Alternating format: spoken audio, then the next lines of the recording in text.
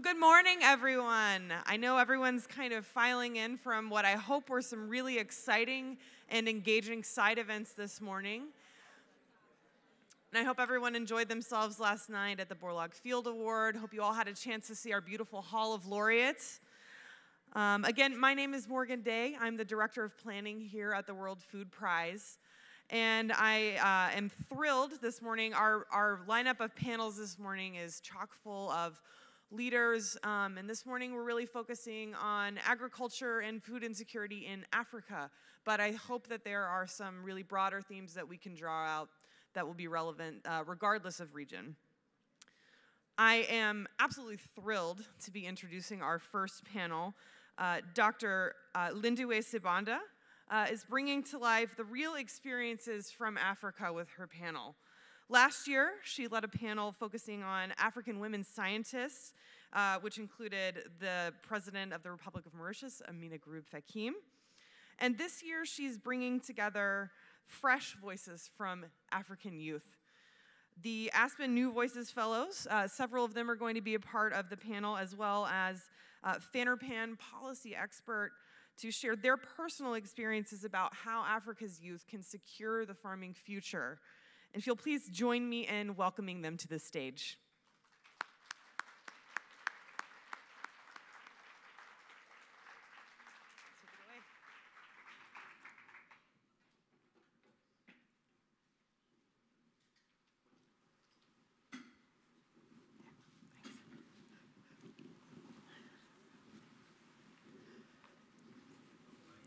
Right. Thank you very much, Morgan, for that introduction, and good morning, ladies and gentlemen. I'm excited to be hosting this panel at a time when the African Union has declared 2017 as the year in which we are harnessing the demographic dividend by investing in the youth. Now, I've deliberately set away from the panel because, according to the African Union, youth is 15 to 35, and I'm way beyond that. I'm excited because we have 54 countries in Africa. We have taken the best of the best, just four countries. I'm going to take you to Uganda. I'm going to take you to Kenya. I'm going to take you to Mali and I'm going to take you to Zimbabwe, all in an effort to showcase the best of the best in the youth that are doing it and leading by example. Emma, you were here four years ago, and I remember Ambassador Quinn showing off that he has been to a one acre farm that does it all. Take us to your farm. Just paint a picture. Of what is happening right now in Uganda at your farm? Uh, uh, my acre is uh, one my farm is one acre, and I divided it in two quarters.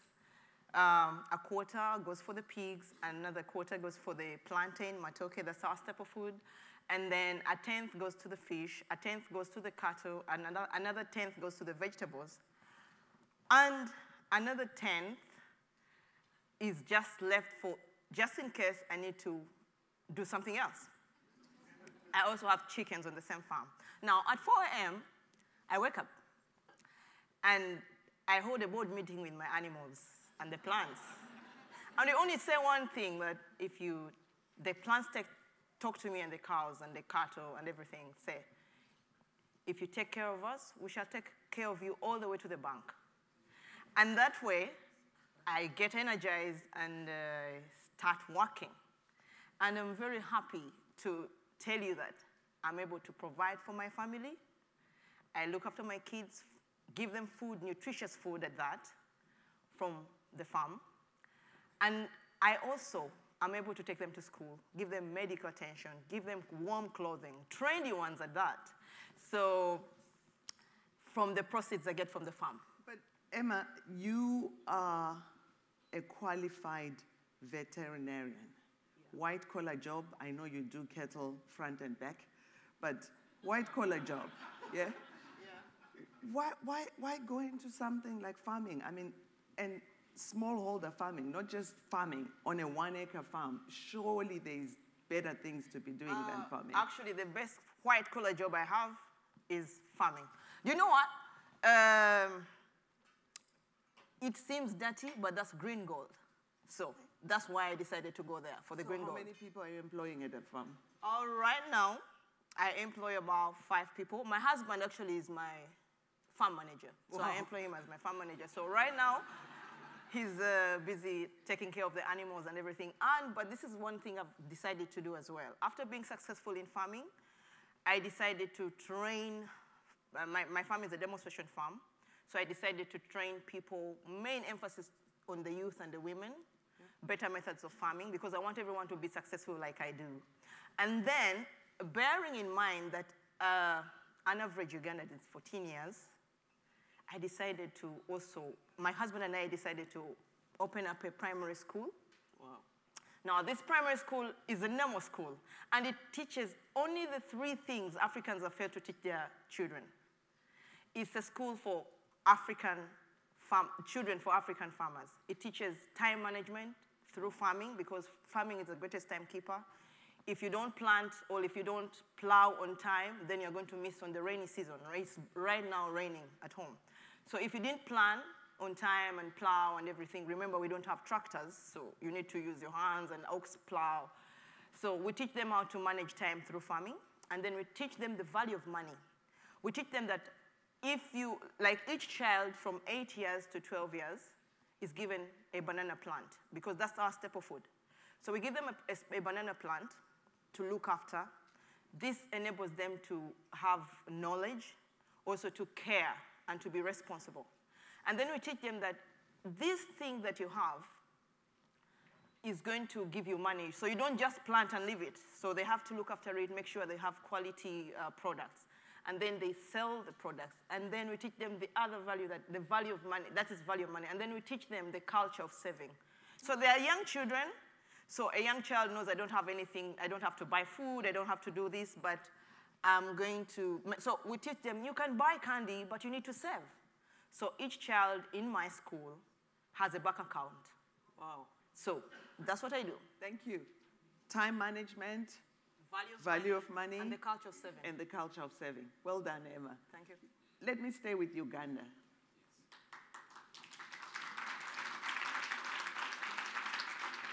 Thank you. Talk about giving back to your community. So, Emma is farming. You are in Uganda and you've chosen to go into advisory services. What help can you give to, to Emma's farm? What are you doing in Uganda on advisory services? So uh, basically, I work with the Acre Fund, and we support smallholder farmers in a, a region called Busoga. It's in uh, the eastern part of the country and one of the poorest uh, in the country.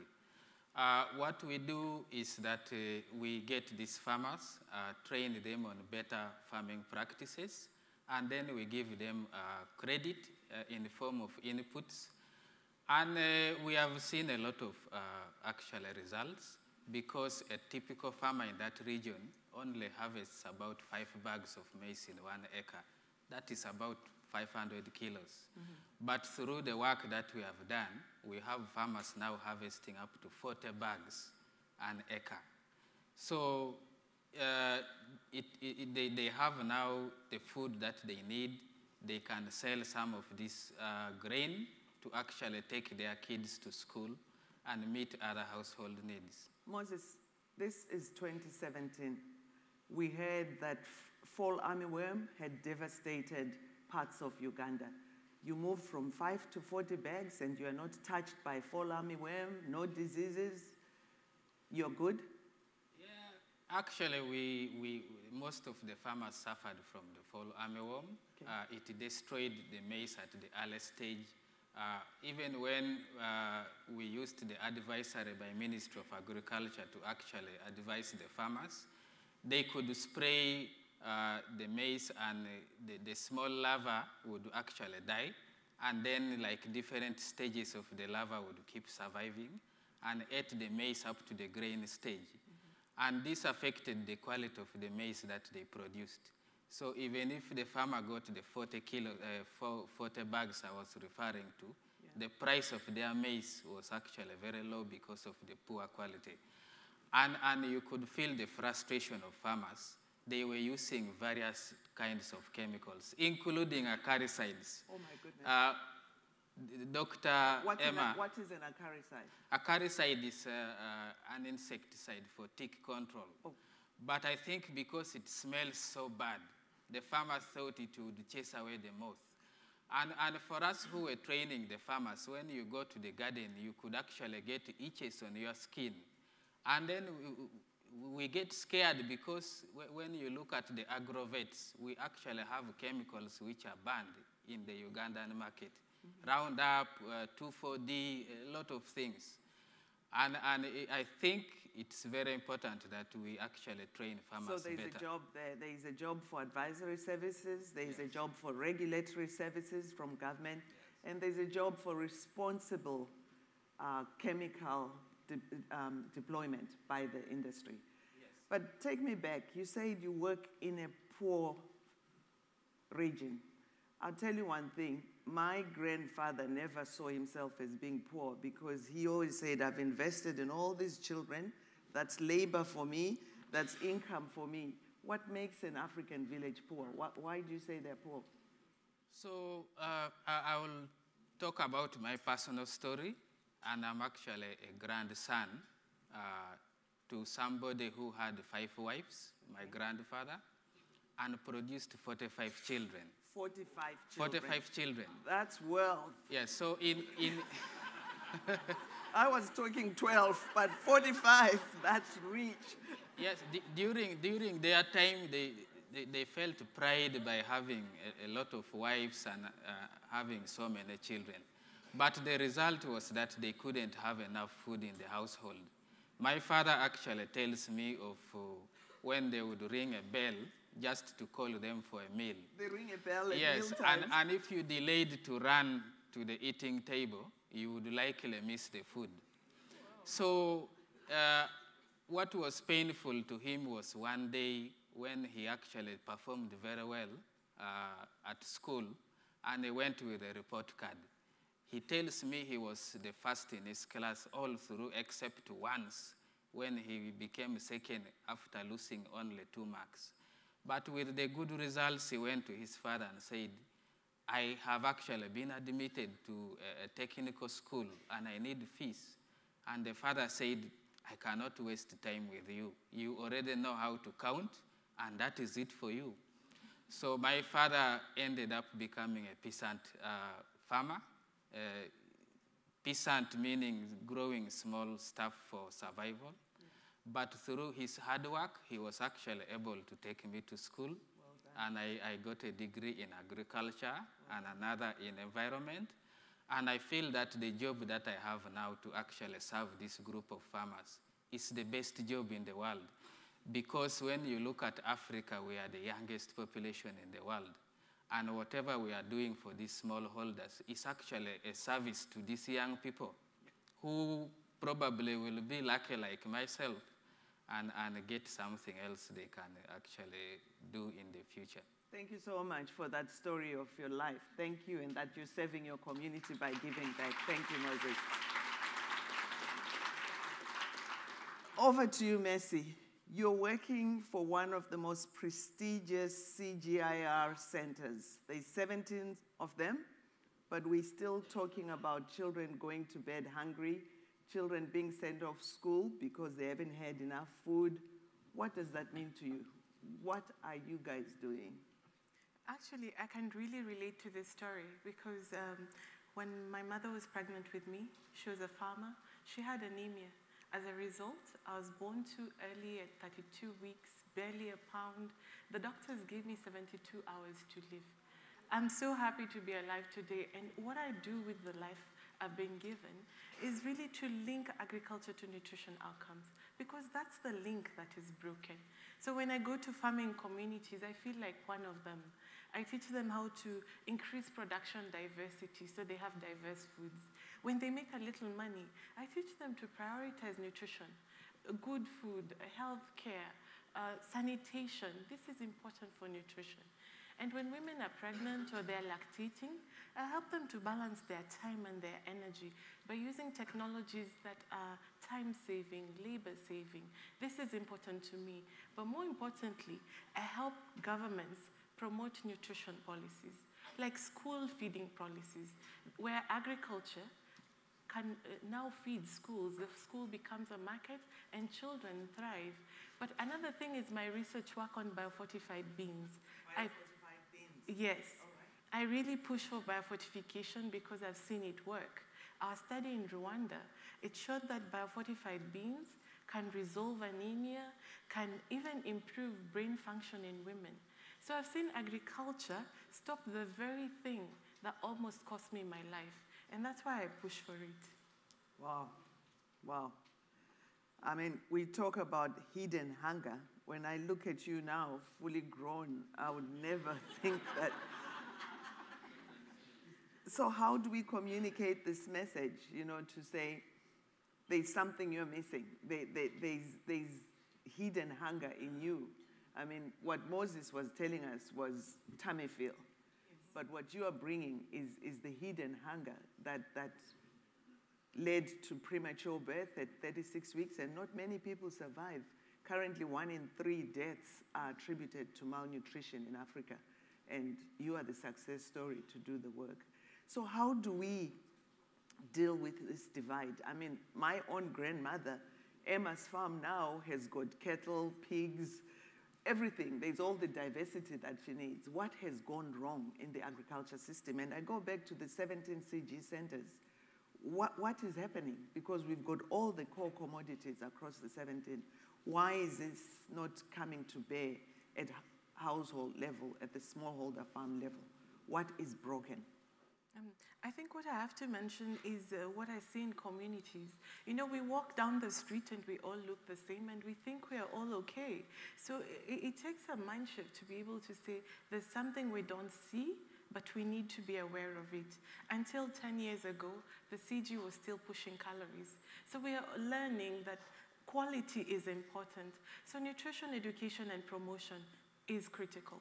But I need this in schools. I need this in social media, in the radio, in communities. When we talk, we have to talk about diversity. We have to embrace diversity. We have to make this part of our message. Thank you, and thank you for that story. And uh, congratulations, we have you thanks to technology and yeah. knowledge. Yeah.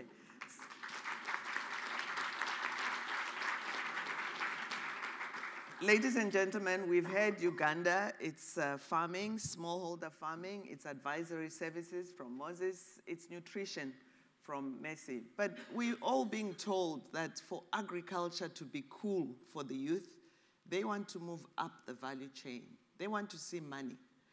And, and they view smallholder farming as more of subsistence type. We've got Salif from Mali. Hi. You are the big bucks man here. Uh, don't, don't Tell us, when does the till tick?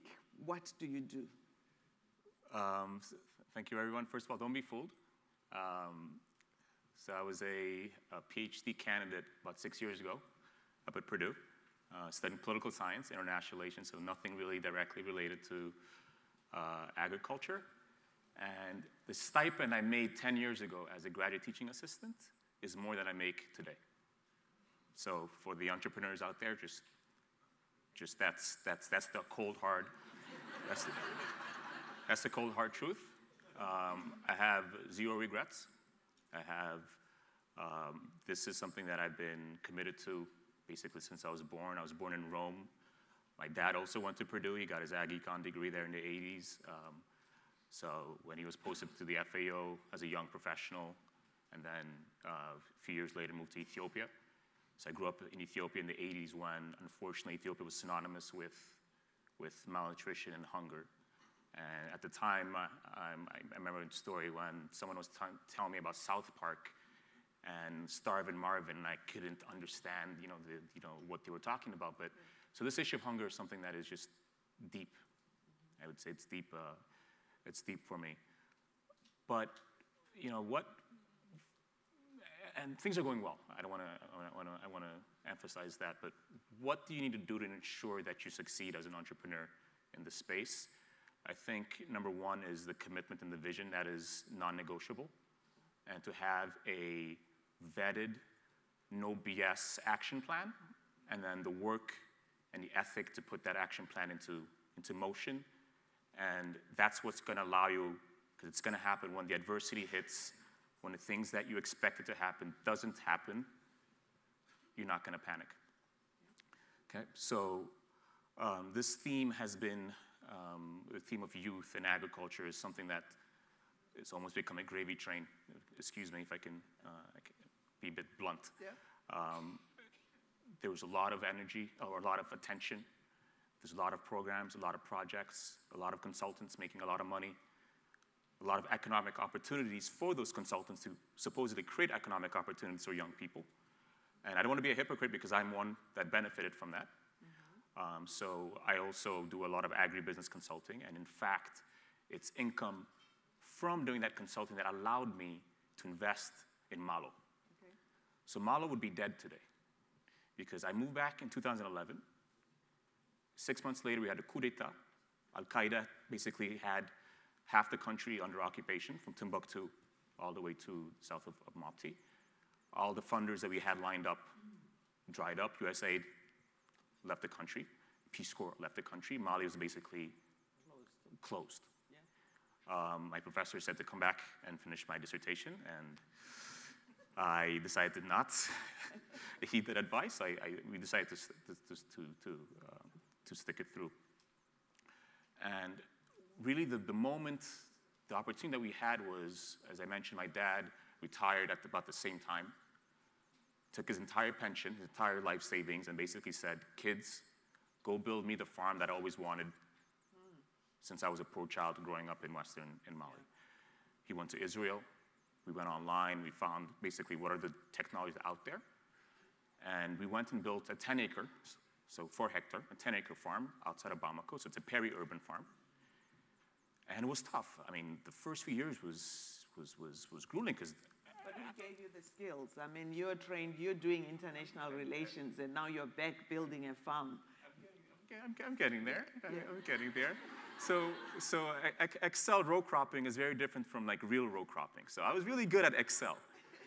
Um, so I, so I have, it's a family business. So you know, my dad too. He's an economist. Um, I had a younger brother who did not do so well in school, like a lot of young people, but this was an opportunity for him to kind of get his life back on track. So he became the farm manager. And he had a baptism of fire. And, and the person that changed his life was in, in, in the Egyptian government had an agronomist as part of the bilateral relations between Mali and Egypt, sent an Egyptian agronomist to Mali. I think for four years, nobody called him. He was just bored watching TV at home until he heard that there was this young 18 year old kid, my brother, who got thrust with this hundreds of thousands of dollars just got invested in this farm, trying to grow tomatoes and all this technology, but had, had difficulty. So he basically was mentored my, my little brother. And that's how my little brother learned to, to farm. So I work with him. Technically, I'm not the strongest, but we build tools to manage the business from the technical standpoint, like you know, human resources standpoint, the economic standpoint. And today, we get paid today to provide advice to others. And our, and our flagship, our first customer, our first client was a gold mining company in Western Mali. Controversial, extractive. Some of you maybe know a little bit of African history. If you Google Mansa Musa, you'll learn about the wealth, the enormous wealth in this part of the world that has been extracted for for, for centuries. And they hired us to design a program for them because they're worried about two things. The, the, the, the, the illegal mining, the young people yeah. that are frustrated and are, in our engaging in illegal mining. And second, is there a way for them to reduce their food costs? Because they have thousands of employees from Australia, from South Africa, and they're importing food from, from long distances. So the, the, the program was simple year one training school. So we designed a training school based on our family farm started with 100 kids. Not everybody made it, and that's why it's designed, it's designed that way. We don't want everyone to make it. Now, the ones that made it now have been placed this year on five additional incubation farms. So each person that goes to the program knows how to produce horticulture. They can do dairy, they can do poultry, they can do aquaculture, and it's them that are feeding the mine workers. Wow. And excess is being sold to market. What's your relationship with these trainees? Are they still reporting to you? I mean, what's your business line there? We moved on because we're consultants. Um, and now we're, we're, we're, we're working on two additional projects that sp- spoke, uh, focus on this.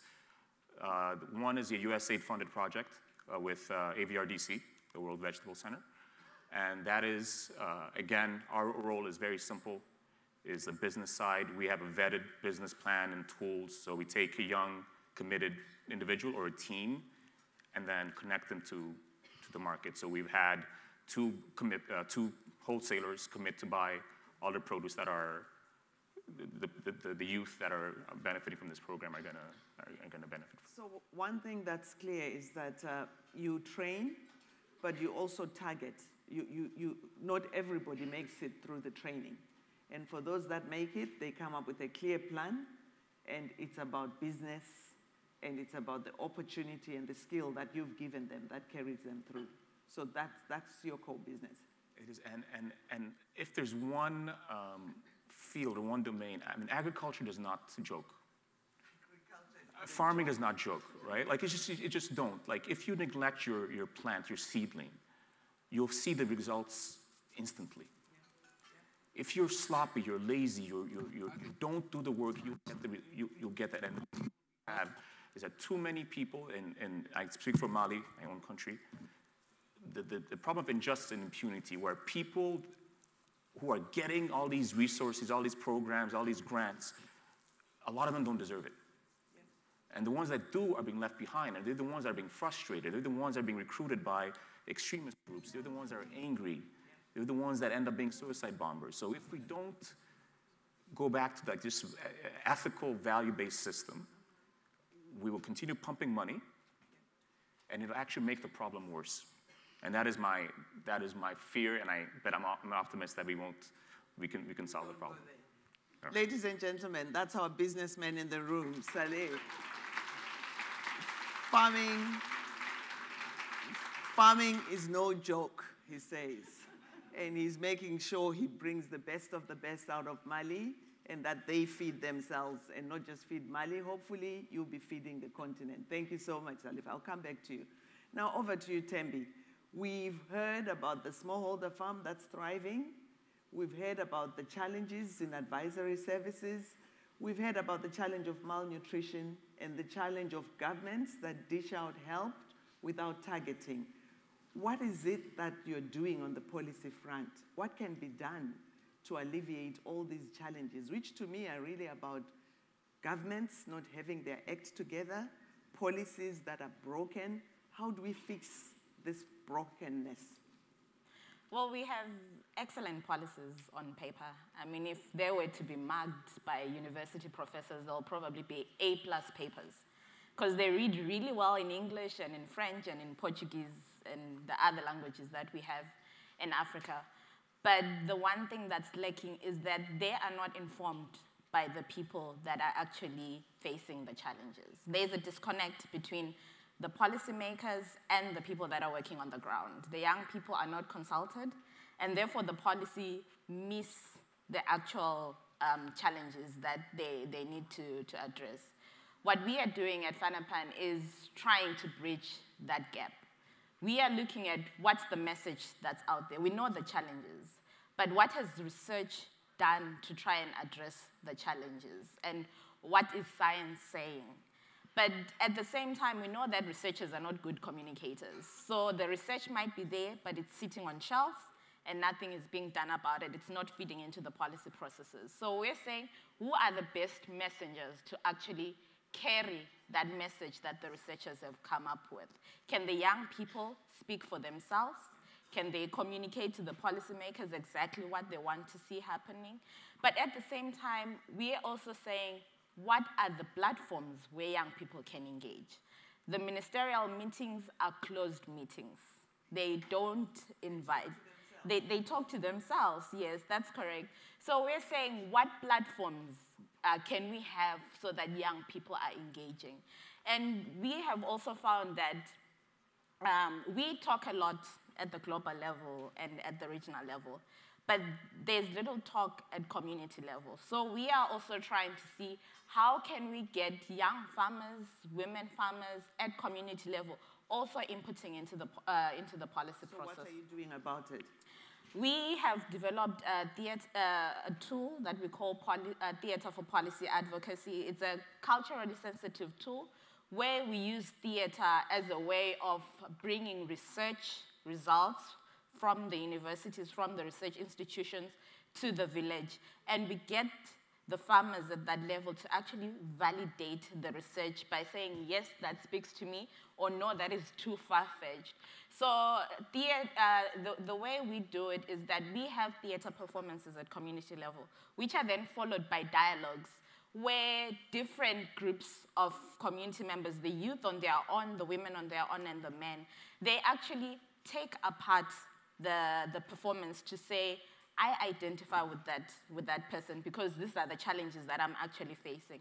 So by using theater and presenting a, a challenge through an actor, people are free to engage and they're free to actually say what could be. Demystifying the policy development process Yes. and making it tangible so the evidence is real. Yes, that's what we are doing. We are making it simple. We're saying that policy is not out of reach. The farmers, the youth, they can get involved. They just need to have the right engagement platforms. Thank you very much. Ladies and gentlemen, I'm sure you're burning to engage with this panel. I'm going to take a couple of questions. There are mics on the side. If you can just line up, I can see one of the mics there. If you are burning to engage with the youth and ask a couple of questions, this is your time. I can see Gordon walking to the mic. No. So there's where Gordon is, there's a mic. Kwesi, you're going to the mic?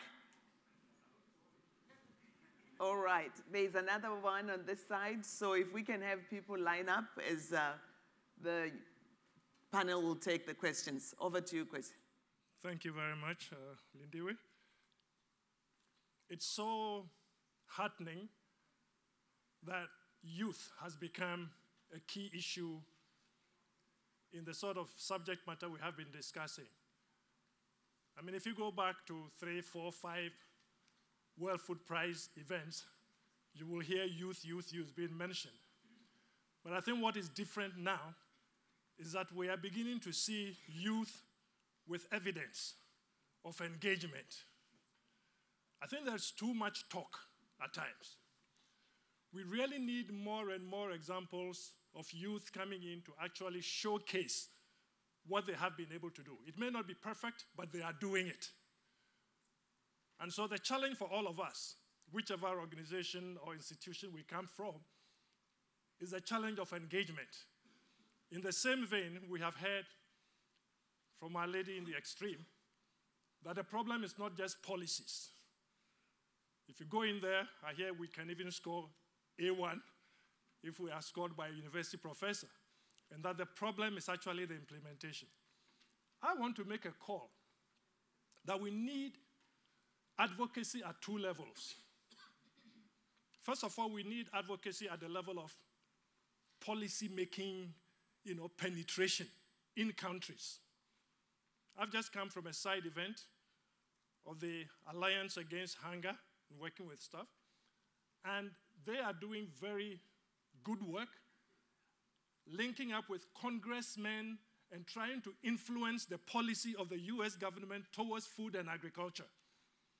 And I would like to see developing country networks setting up at that level. But that alone is not enough. We also need to have on the ground level uh, advocacy where we are actually implementing things to show that it can work and it can change things.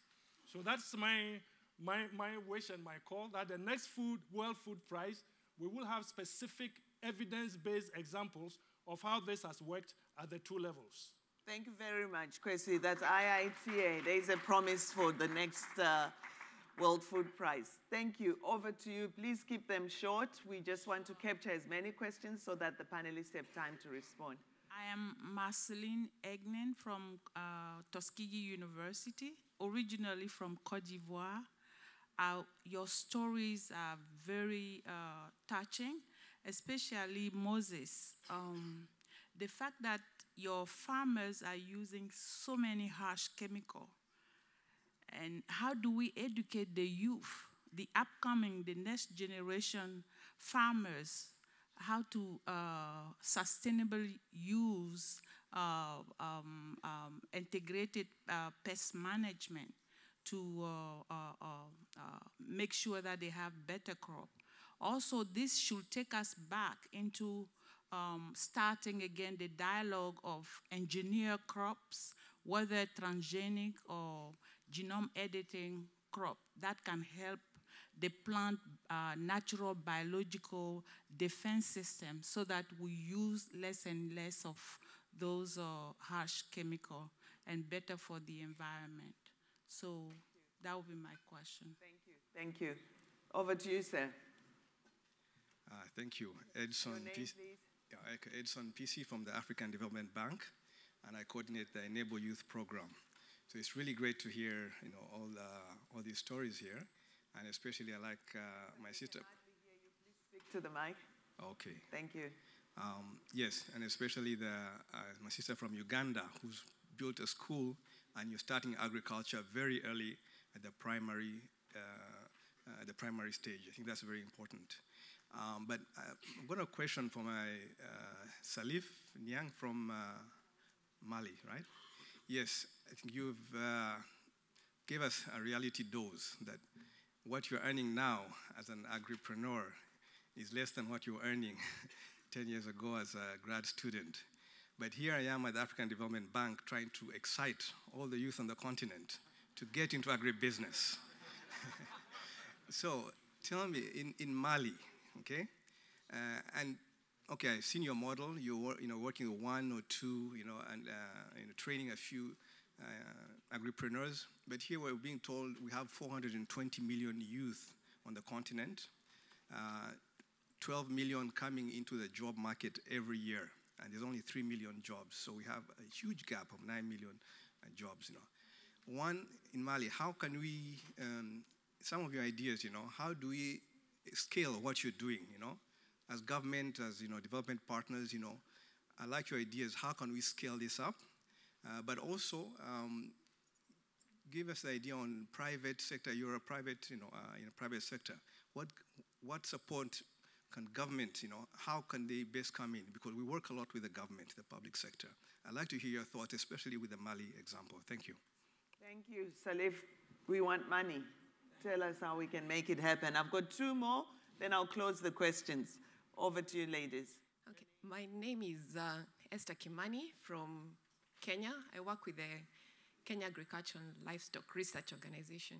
And my question to the panelists is um, how would you want the research organization to engage with the youth and the issues that you are facing? Yeah, we, um, how do you want us to engage? You just don't want to come from known and dump things on you or, um, but yeah, how would you like to see that happening? Thank you. My name is Florence Wambugu. Uh, I work with an organization called Africa Harvest in Africa. Volume. My name is Florence Wambugu. I work with an, an organization called Africa Harvest in Africa. Uh, mine is a question and a comment. I've been working with the youth. Organization is uh, involved in technology transfer, grassroots level between private sector as well as from um, other international organizations along the value chain. And with that, we have found that it's hard just to put the youth in a straight jacket. They have their own innovative ideas how they want to engage. For example, in one project, we were working on sorghum, and they decided it's better instead of selling their sorghum, turn it to feed, and they start chicken business and eggs business, entrepreneurship, and making money. And so I realized in this, try to engage the youth. Allowing innovation and creativity is very, very important, and flexibility. Another very interesting observation is about another experience I have in, in, a, in, our church. I go to a big church, about 10,000 members. And I was asked to start uh, I use uh, entrepreneurship business in agriculture. First time I had the youth showed up. Uh, within a short time, you got about 650 youth all coming and networking. We meet once in a month. But to me, the most interesting thing out of this is the most powerful have been them exchanging their own ideas, opening the platform, having their own WhatsApp group, having their own uh, exchange of ideas and helping each other. How are we making money? Where are we losing money? So I actually bring speakers once in a month to, to actually target the area where they're having the biggest challenge. Otherwise, they're learning from each other, they're learning from each other's mistakes, and really moving forward very well. So I'll say, even as we come up with some concrete ideas, let us allow for flexibility, creativity, and most important, the youth learning from other youth. Thank you. Thank you very much for those experiences from the ground. What I would like to hear from the panel, you've heard the suggestions, the recommendations, but there's nothing that beats youth solving the challenges that face the youth. You are the, the, the, champions. You are the ones who will lift the millions. Currently, one in two Africans are below 35. What that means is there's a whole army that you all have to lift. What is the one challenge that you've had to overcome and that you wouldn't want other youths to face? I'll start with you, Tembi. I'll say there's need to demystify policy. If we're talking about um, developing. Yes, demystify policy. If we're talking about real engagement for youth, they have to be part of it. Uh, it's nothing for the youth without the youth. So let's make sure that they're fully engaged and they're not just tokens. Ladies and gentlemen, it's nothing for the youth without the youth. So the youth is now, it's not the future. Over to you, Salif. Thank you. Um, I, I, just want to be clear, and I, I, did say that, yes, I make less today, but that doesn't mean I haven't made money. What I'm, trying to, what I'm saying is that what we were able to make, we've invested it. I live well. I'm very privileged, I'm very lucky. Okay, so I, I, I, am not trying to give that impression at, at all. And, and Malo, which is we're the first rice fortification company in Africa. We just, we're about to finish a deal with the World Food Program. Uh, for the first time, uh, almost 100,000 kids are going to have fortified rice uh, in school uh, all year. And it's, it's, it took six years, but it, it was, it's, it's, very, it's, a very, it's, a, it's a very good deal. Agriculture is possible. We're making money. But if you don't have that, if you don't make that commitment, that sacrifice, initially, at least in the first few years, it's very difficult in the, in the long run. We try to, to, to instill in the youth. reduce the risk, don't lose money, but think the long game. Because the investment you make today, for years and years, you'll those rewards. Once you take gold out of the ground, it's gone. But once you invest in your soil, you can, you, can, you can have generations of wealth to come. So reduce the risk. You reduce the risk, and that's what we're doing now with the tools that we've built Excellent. and when we talk to young people. So de-risk agriculture. Thank you. Mercy, what's the one big challenge you had to overcome? Of course, given my history, I, I had to change my mind shift. My mother said, do not go into agriculture. Then I con- do not go into agriculture. But when I was at Cornell, uh, Professor Per Pinstrup-Andersen was singing, linking agriculture to nutrition. And I was thinking, how do I make this work for me? And I like the comments that came out what we do now at CIAT is really co-create solutions with the youth. We use partnerships with civil society to be able to engage government, to engage communities. And now with the African Leaders for Nutrition at the African Development Bank, we really want to push those policies that work on nutrition. For me, I'm preaching nutrition-led agriculture, and that's my story, and I'm sticking to it. nutrition-led agriculture. That's your story, and you're sticking to it. Thank you, Mercy, and thank you to Per Strip Anderson, who's here, the, the, the role model who made you do what you do now. Over to you, Moses. Yes, uh, I, I feel the youth have three questions that must be answered. And one is that does agriculture really pay? The other is that can it be a sustainable source of livelihood uh, for myself? And the third is that do I have some dignity? Can I be uh, uh, recognized as a contributor in my community if I engaged in agriculture? So dignify agriculture. Yes. And, and it comes to the issue of access to uh, the technology that you are using. Uh, if we look at the, the, the, issue of seed, access to uh, seed on credit, fertilizer, and the rest, as well as the training component, but also importantly, the tools that you are using, then we see that agriculture will be profitable and young people will be attracted to it. So dignify agriculture, ensure farmers have access to technology, and make it profitable, make it a business. Thank you. Finally, our rock star, the farmer cum vet. Uh, one of the reasons why I'm like this, I've been a successful farmer, is because I had knowledge. I went to school. So, issue is give the youth the knowledge they deserve to do whatever they need to do. And since, like I said, 14% of, uh, I mean, 70% of Africans or Ugandans are 14 years old. It means they're young, they need to be given knowledge. So that's why I put up that primary school to just disseminate knowledge all over. And these kids, it's amazing what they'll do. They'll not only learn it, but they're going to pass on the same information to their parents and to the neighbors, and they will be, everyone will be happy. Give knowledge. education, give us knowledge. That's what will make agriculture cool for the youth. Ladies and gentlemen, as I sit here and see Mommy Judy and Julie Borlaug, I'm reminded of what they've always told me that when Norm was in his last minutes, he said, Take me to Africa. And today, I'm sure he's smiling because his life was about the next generation. They are real, they are doing it. Thank you very much. Join me in thanking them.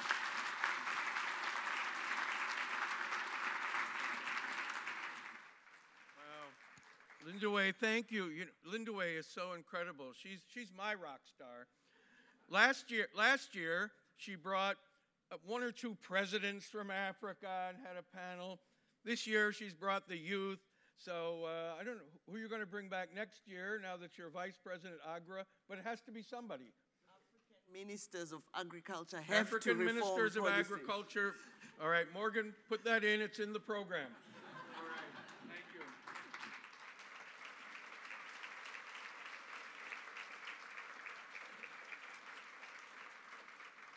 Okay, while we're uh, getting set, I want, I want to share, Lindiwe, I want to, and, and Emma, just share with you that uh, when I was in India a month ago, there was a medical doctor and a farmer, and she got an award at the 10th uh, anniversary summit of the Indian Council of Food and Agriculture. So it's almost all men getting awards. And she comes up and she's the farmer of the year. And she's at the microphone and she said the most memorable line she said, I'm more proud to tell people I'm a farmer than that I'm a doctor. And so that's. Uh,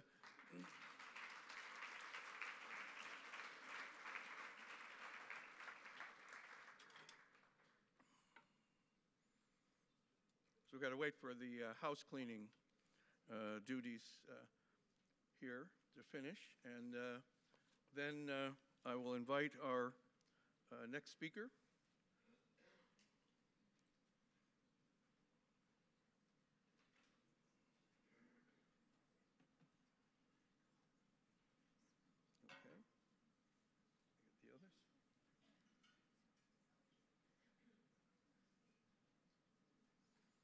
right. So um, if you could uh, join me and uh, welcoming to uh, our stage for our morning uh, keynote address, the uh, new administrator of USAID, the Honorable Mark Green.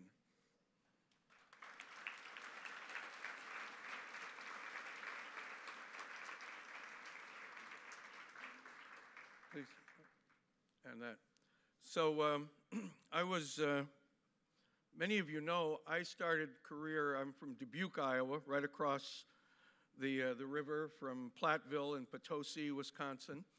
And uh, I passed the Foreign Service exam, and I was going off to Washington, and I was going to be going to London or Paris or Vienna and sipping aperitifs in fancy ballrooms. and I was seconded instead to USAID and sent to Vietnam in the middle of the war. You may have seen me in the Ken Burns uh, documentary. Uh, and I became a rural development advisor and was in villages in Vietnam when the Green Revolution started at the same time.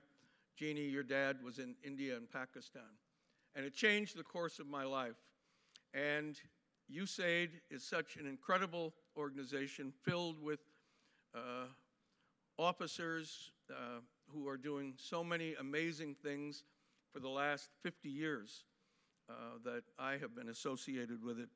And so that's why I was so thrilled, Administrator, the, to have you to make this schedule work so you could be here to uh, address us. Now, I was worried because he's a Wisconsin guy and went to Eau Claire State.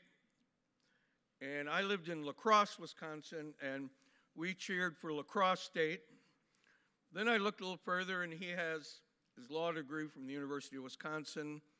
I have my master's degree from Marquette in Milwaukee. So, you know, one more, one more thing worried about and there. But saw that his role at the International Republican Institute that's out there on the ground doing such amazing things. And we have personal connections to Senator McCain and Rich Williamson. I was at the U.S. Global Leadership uh, uh, uh, Conference, and that with Liz Schrayer. I have such enormous uh, respect uh, for her and all that they're doing. Was the U.S. ambassador in Tanzania. They're on the ground. President Kikwete was going to come today, but then at the last minute couldn't couldn't make it. Um, and and so, looking on paper, I said, "Well, this is he's got terrific preparation, and probably knows Peter McPherson, who was the head of USAID, and we worked together in the Reagan administration." But the thing that really convinced me is in August, when Administrator Green was confirmed, he did a video and talked about his role in heading USAID. And I saw the video, and my staff members who are here will know that night I sent it to them. I said, everybody has to watch this because this is a person who is inspiring and obviously inspired himself. So it is my great pleasure to uh, welcome Administrator Mark Green to the World Food Prize and to the podium.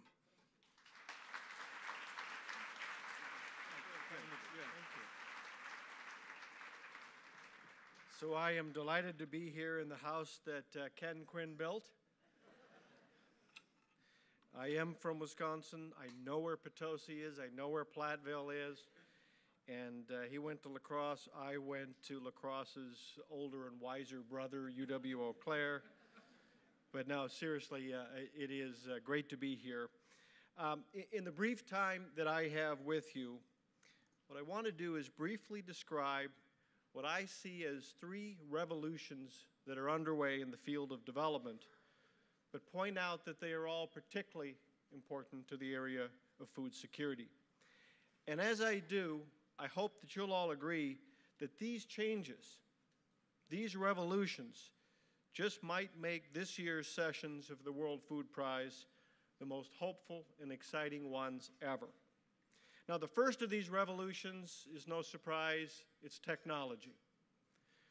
Not the everyday discoveries, but the fact that it's becoming increasingly uh, available and affordable all across the developing world. Now, my own career in development began about 30 years ago. My wife and I were teachers in a little village in Kenya in East Africa.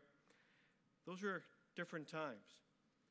In our little village, we had but one telephone. And it was a wind up phone. And it was mounted on a wooden box in the school office. So back then, if you wanted to make a long distance call, you'd go down to the office, you'd pick up the receiver, you'd turn the crank, and you'd say, Operator, give me 662 Kisumu. You'd put the receiver down, go, sit outside under a mango tree, wait for the phone to ring to tell you that your call had gone through. A dozen years later, I'm walking through that same village, walking along a path. I see a young boy and I say, Do you know Neva? One of my former students. He said, Yes. I said, Can you go get him for me? He said, Yes. And he pulled out his mobile phone and he called him. Five or so years after that, I was ambassador in an East African country, and my African staff had cheap mobile phones and they were conducting business, they were paying their bills, they were making calls everywhere. That is the lens through which I see technology and innovation in Africa and elsewhere. This is an extraordinary time of opportunity. These innovations, this frugal technology, is making the impossible possible, the unsolvable solvable. Now, in West Africa, USAID is supporting a tropical weather forecasting company called Ignitia. Ignitia sends daily and seasonal forecasts via text message. It's received by 320,000 users across West Africa, increasing their awareness of rain and drought, particularly during the growing season. In Ethiopia, there are now electronic billboards in the countryside that show the latest price for coffee. And the aim is to help those remote, small scale farmers see what the actual price is so when the unscrupulous middlemen come to try to game them, they've got ammunition. Not so many years removed from that wind up telephone. Now, if the expansion of affordable technology is the most eye popping revolution underway in the developing world, there's another one underway that I would argue is at least important. So, when USAID was launched a little over five decades ago, something like 80% of the money that flowed from America to the developing world was traditional development assistance, what we call ODA. Today, that figure is just under 10%. To be clear, it's not because ODA is fading away, it's because private financial flows have roared ahead. Large scale philanthropy, remittances, but more than anything else, commerce and investment. The world's fastest growing economies are largely in the developing world. According to the World Bank, half the nations in Africa are now lower middle income or higher. Many of these same nations have very young citizenry. The demographics are showing that they're increasingly young. And so that means their emerging consumers are interested in the very kinds of products that U.S. businesses make and services that we provide. In short, American business has business in the developing world. The third and final revolution that I'd like to describe is the one that excites me most as administrator, and that's the rapidly changing relationship between private enterprise and the development community. Leaders in both sectors are finally figuring out how to take the unique capabilities of each, public and private, and apply them to problems that neither could take on fully alone. And this is making challenges that once seemed insurmountable very real and very achievable.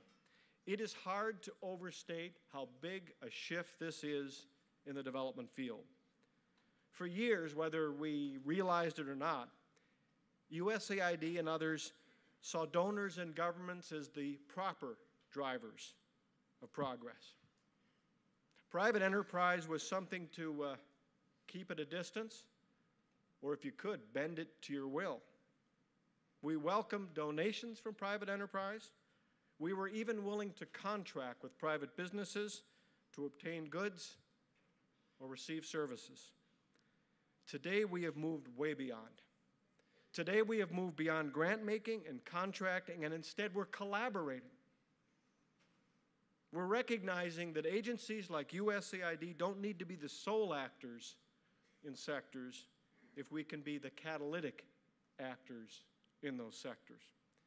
We're rethinking how international development initiatives are designed, tested, rolled out, and we're embracing the creativity and the entrepreneurship that only the private sector can bring to the table. Feed the Future, which so many of you know and so many of you participate in. Feed the Future, America's global hunger and food security initiative, in so many ways is helping to lead the charge. One example, CoolBot. In many parts of the world, some of you know, farmers harvest much more food than they actually need, enough to generate a modest income. But they lack access to temperature controlled storage.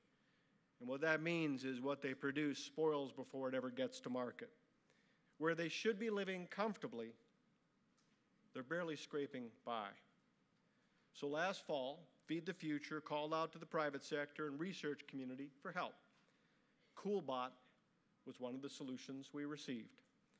An engineer in upstate New York figured out how to turn a regular window air conditioner into a low cost cold storage unit, CoolBot. His unit costs about $300 compared to $300,000 for traditional commercial units. An American company, Store It Cold, saw the device was a huge hit with small and medium farmers back here in the Midwest. And they thought it just might work in the developing world. So we col uh, collaborated with Store It Cold to scale CoolBots in Central America. Right product, right place, right time, it's taking off. Now, our role wasn't simply to pay them to provide their product. That's what we might have done years ago. Instead, what we tried to do is help them understand the local market and culture, and then try to use our connections to help them exploit the opportunity. The goal for CoolBot is to reach 15,000 small farmers by year's end. That will be 15,000 rural farmers and cooperatives who, for the first time ever, will have access to refrigerated storage. This will help them keep produce fresh until it's sold. This will give them that chance to do more than barely scrape by. And the endeavor works because it joins the special capabilities and connections of each side, public sector and private, again, to tackle problems that neither of us could do alone. As administrator, I pledge to make CoolBot and that story not the exception, but the rule in our dealings with private enterprise. As a further down payment on this approach, today I'm announcing two new exciting ventures in which USAID and private enterprise are collaborating to lift lives, lower poverty, and yeah, catalyze commerce. The first involves the Syngenta Foundation, and it takes on a key challenge in food security, getting state-of-the-art seed varieties to smallholder African farmers. Our collaboration will help local African agribusinesses gain access to high-quality seeds so they can be sold at affordable prices. It will bridge the gap between the labs that develop cutting-edge seed varieties and remote farmers and communities so desperate for high-yielding harvests. There's a second collaboration that we're announcing today. It's one with Keurig Green Mountain and Root Capital. It aims to support small-scale coffee farmers who suffer from poor access to markets and private capital. Through this partnership, small-scale farmers will gain greater access to credit, learn new business concepts and strategic planning, and connect to lucrative markets that value sustainable agriculture. So I hope my message to all of you is clear. At USAID, we want to move beyond grant making, beyond contracting, and embrace collaboration, co-design, and co-financing. I hope it gets your wheels turning. I hope it gets you thinking about the possibilities. Now, just in case it doesn't, I want to take a step further. My job now is to manually turn those wheels. I hear some squeaking as we, uh, as we do it. Instead, what I want to do is issue to everyone here a call to action. And it's a call to action that should really affect every one of us, and it's something that we have to take on and something which working together I think we can conquer. As many of you know, and I know there's been lots of talk about it, the fall armyworm is a, truly a great challenge to survival of agriculture in Africa. It's a destructive pest endemic to the Americas that is now spreading all across Africa in fact, it has already been positively identified in nearly every country in sub Saharan Africa. It has a voracious appetite, particularly for maize, and it's pesticide resistant. It has the potential to cause billions of dollars in damage and put hundreds of millions of lives at risk for hunger. The potential impact of the fall armyworm highlights a fundamental challenge that farmers all across Africa face limited access to the tools, technologies, and management practices that are really necessary to take on and manage this threat. So, as many of you know, here in the U.S., we know the armyworm problem, and we've controlled it. And we've done so by using the best science and tools that are available, from crops with built in resistance to smart, safe pesticide use. So USAID is calling public, private, civil society, research, and university partners to channel those tools, to enlist those tools to take on this problem. Let's control the fall armyworm in Africa before it becomes a true food security crisis. We're launching this call to action to connect and mobilize our partners and ensure that Africa gets humanity's greatest thinking on this subject. As part of our role in the collaboration, I'm announcing that Feed the Future has already begun assembling like minded international and African organizations, companies, and research institutes to mobilize their solutions to the fall armyworm epidemic. And I'm reaching out to all of you to offer you a role in this effort. In fact, I am challenging you to join us. If you're willing and interested, and if your organization can commit to this global effort, go to Feed the Future's website and tell us what you can bring to the table. 100 years ago, Teddy Roosevelt had this to say about challenges like this. He said, Look, far and away, the greatest prize that life has to offer is the chance to work hard at work worth doing.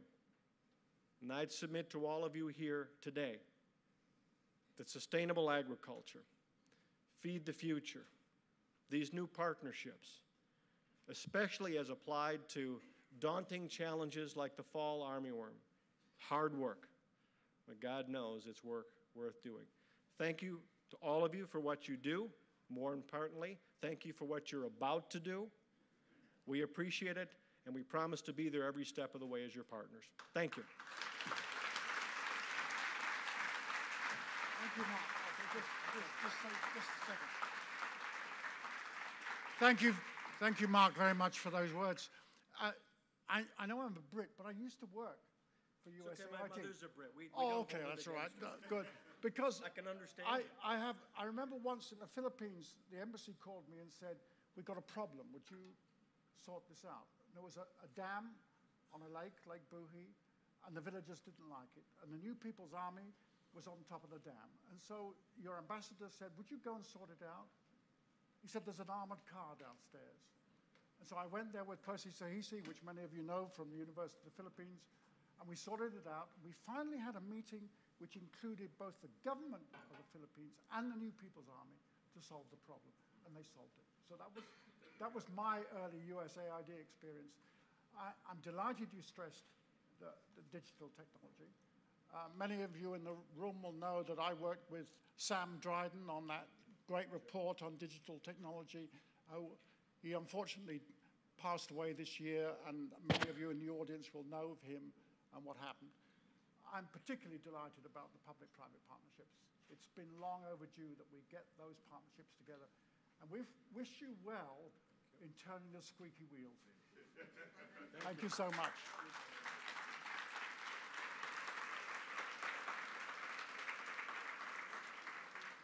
Perhaps I can get the next panel to come on. Akin and, uh, and, and Nick is somewhere there.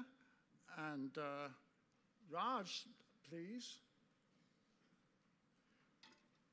Agnes.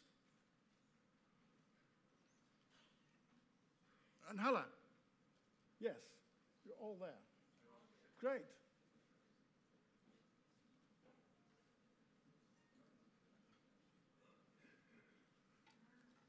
This is a, a terrific panel. I don't think we've seen the like of a panel like this at the World Food Prize for a very long time. Uh, we have at the far end Nick Austin, who uh, was seven years as the director of the Australian Centre for International Agricultural Research and has just been made the head of agriculture at the Gates Foundation uh, this year. We have Madam Hala uh, who has had a long career in the World Bank, um, particularly doing work in the Middle East and North, North Africa, but others as well, and she's Director of Communications from the bank. Next to her is my good friend Agnes. Uh, Agnes was a brilliant Minister of Agriculture in Rwanda, and you can see the consequences of her influence in Rwanda today. And then she became the head of the Alliance for a Green Revolution for Africa, which is spearheading so much of the change in Africa. Next, uh, Raj Shah, who I've known for a long time, when he was uh, at the uh, Gates Foundation, became head of agriculture at the Gates Foundation, became a chief scientist at USDA for a brief period when I was chief scientist in Britain, and uh, then, then went on to become the administrator of USAID.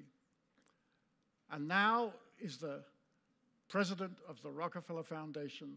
Uh, and uh, I am so delighted by that appointment because of the personal connections I have with the foundation.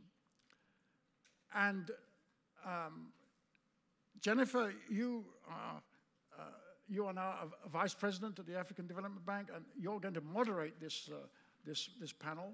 Good.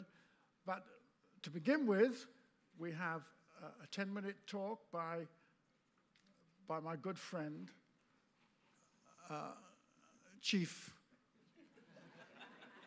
Akin Adesina, who uh, worked with me at the Rockefeller Foundation for seven years, went on to become the Minister of Agriculture in Nigeria and had an enormous impact. I mean, you can see that uh, in particular with the great production of rice in, in, in, in, in Nigeria.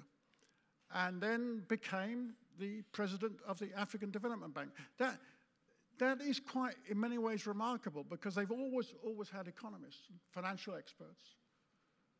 And he, he, he's an agriculturalist. He was a man who knows about agriculture. And to have somebody like that at the head of the African Development Bank is changing things already dramatically. And Chief, I want you to say a few words. Thank you. and then you can take over.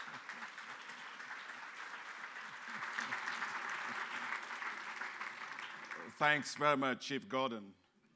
He's the, he's the big chief. He hired me at Rockefeller Foundation, so he's uh, the big chief. But uh, about being an ag person, uh, Pedro Sanchez always calls me an economist with chlorophyll, so I think that's. Uh, Good morning, everyone, and welcome to this session. Um, you know, when I was elected president of the African Development Bank uh, in 2015, I made a decision to launch Uh, our Feed Africa strategy with very strong support from our board of directors. And our goal was pretty simple to help to transform agriculture and unleash a new wave of prosperity all across rural Africa. I knew that to succeed, Africa will need strategically and creatively and collectively to pull together a whole lot of institutions, and we have so many of them all over here today. We just heard from the USAID administrator. My good friend Raj Shah used to run USAID uh, at that time as well. We have had, as you all know, a lot of latent potential for change and development. But in the main, our efforts have been dissipated. We simply have not operated at scale needed for impact. So when I was elected president of African Development Bank, I met with my very good friend, Jim Kim, the president of the World Bank. We met in Washington in September of 2015. And we were talking about the CGIAR. Of course, I spent a decade of my life in the CGIAR. And he was beginning to get quite discouraged about funding for the CGIAR. And he said to me, well, maybe it's time to pull the plug on them uh, because it wasn't really going as well as he wanted. And, you know, uh, he and I had a little, you know, tete-a-tete, and I said, well, look, um, I understand uh, what you're saying, but when it was time to feed Latin America, CGIAR was there. It was time to feed Asia, CGI was there. and it's time to feed Africa, the CGIAR has to be there.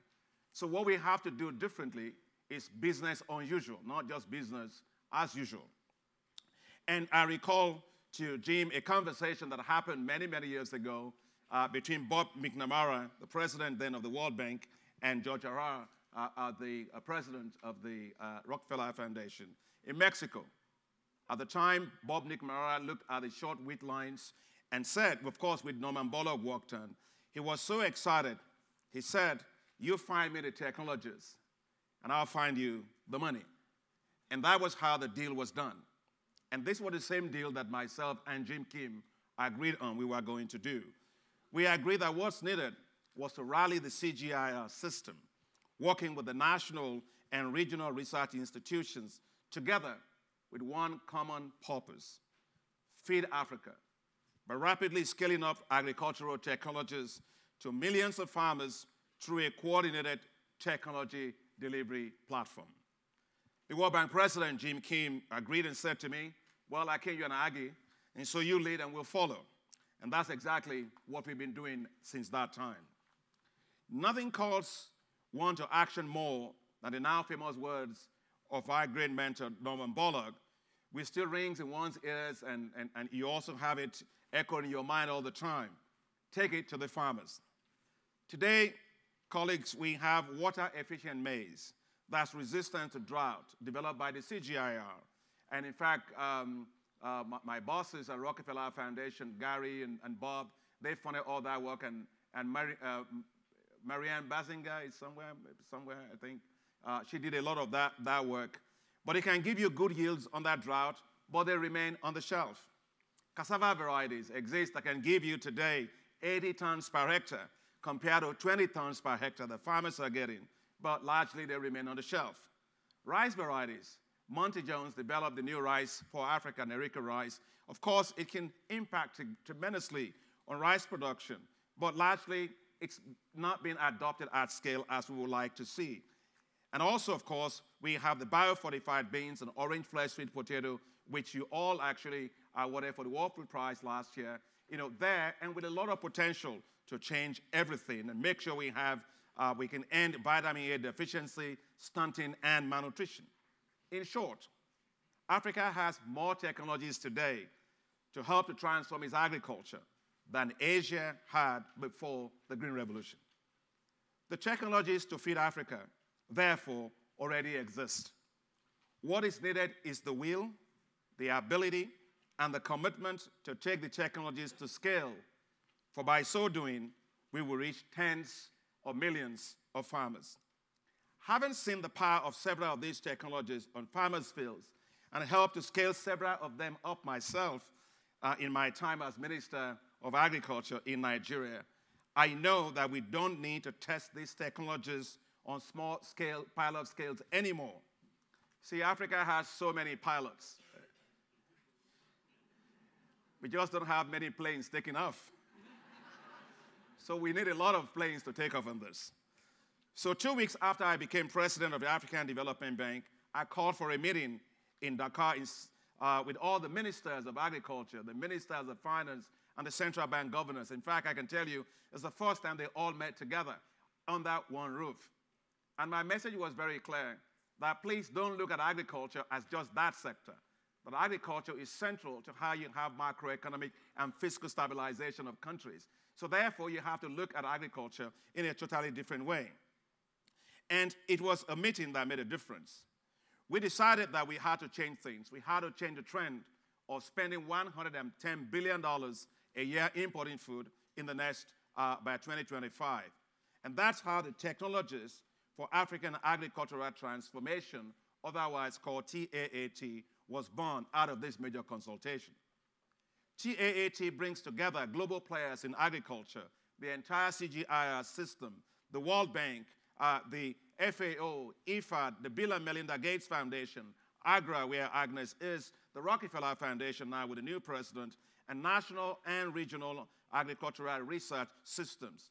It's the biggest consolidation of efforts to accelerate agricultural technology uptake in Africa. TAAT is a regional technology delivery infrastructure for agriculture. linking countries across agroecological zones. For example, take a case of how varieties are released in Africa. You have to test them four years in one location, you test them four years in another location. If you have to take the same variety in the same agroecological zone to 10 countries, that will easily take you 40 years. And that's why we decided that the best thing to do is to take these technologies and take them across agroecological zones. There is the rice belt, there is the cassava belt, there is the savanna belt. So you have the same technology, scale them all across the region, and then change all the regulatory environments that makes it difficult for technologies to go to scale with the much needed regional spillover effects.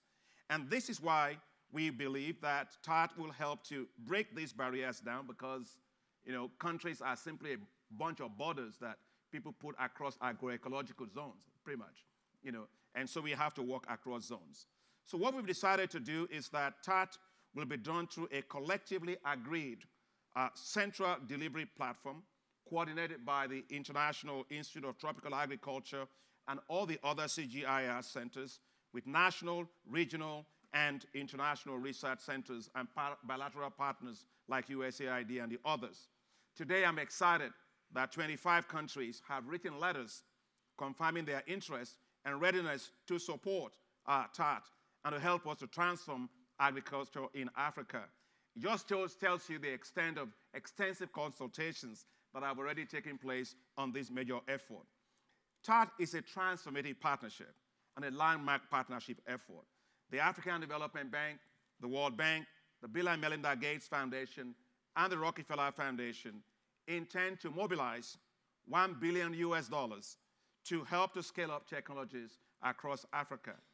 Right now, the African Development Bank is discussing this with our board of directors, and we hope that once it is approved, we can begin the task of really taking agricultural technologies to scale. The question to ask is, what will it do? We're trying to reach, lift 40 million Africans out of extreme poverty. We believe that TAAT will help to produce an additional 120 million metric tons of food. So we are taking a bet, and it's a good bet. We're betting on Africa, that Africa can feed itself. We're taking a bet that with agriculture as a business, Africa will unlock its massive agricultural potential. We are taking a bet that as Africa embarks on an unprecedented agricultural industrialization, it will be able to unleash prosperity that will also lift millions out of poverty, creating new zones of prosperity to replace zones of economic misery that we have in Africa. So I would like, in closing, to thank the World Bank leadership, to thank AGRA's leadership, the Bill and Melinda Gates Foundation, who have placed substantial amount of contributions towards this initiative. We'll welcome more partners to join us in this major drive to take technologies to farmers and to transform Africa's agriculture. Let's rise up and feed Africa. The solution is at our fingertips. The answers are in our hands. The vision can and will become a reality by God's grace in our lifetime. Thank you very much.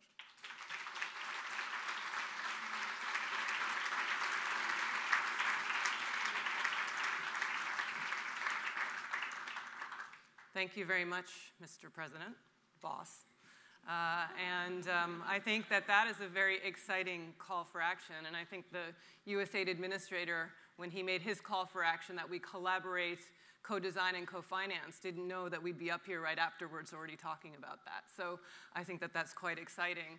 I mean, this is really about um, bringing together the best thinking, the best technology, the best minds, and the best institutions uh, to take the technology that already exists around the world in terms of agricultural knowledge, the right kinds of seeds, uh, the right kinds of tilling, milling, et cetera, and getting them to the farmers.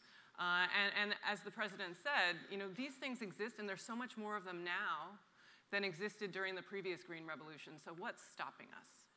You know? And some of the things that do stop us are borders and so on and so forth. The, the other thing I just wanted to mention before we uh, kick off with, I think, some, some very interesting uh, remarks is this whole question of the fall armyworm, uh, which a lot of us have been discussing quite a lot since we've been here. Um, if we're able to, you know, sort of break down those barriers that the president was talking about across the different countries, it will help us also in terms of resilience. Uh, because if you look at pests As we were saying this morning in the fall armyworm meeting, pests don't have passports and they don't wait for visas. They just move right over the border. Uh, and so if we don't take a cross-border approach to technological dissemination uh, and creating this resilience, then uh, we're all going to be somewhat stuck. So with that, um, what I'd like to do is, is move uh, directly to the panel, uh, and I'll kind of move uh, about this way. Uh, first, just Nick. I think you know we, we welcome the fact that Bill and Melinda Gates Foundation is contributing to the central you know mechanism for TAAT, T-A-A-T, um, and you know especially the clearinghouse. And you're also providing you know obviously for quite some time support to the CG centers, uh, which is important and is the backbone of a lot of what we're doing. What will success of working this way to roll out technologies to Africa's farmers look like for you at uh, the Gates Foundation? Thank you, Jennifer. And thank you for the opportunity to be here on this panel with such esteemed leadership. Let me first recognise Dr. Adesina's leadership, uh, exemplified with the TAAT and his achievements recognised as the 2017 World Food Prize laureate. We're very proud to partner with the African Development Bank in the TAAT initiative uh, through our support with the CGIAR centres and particularly with AGRA as a, a vital scaling partner in Africa for technologies. We know as Dr. Adesina has said, that the technologies exist to drive fundamental prosperity and lift large numbers of smallholders out of poverty in Africa.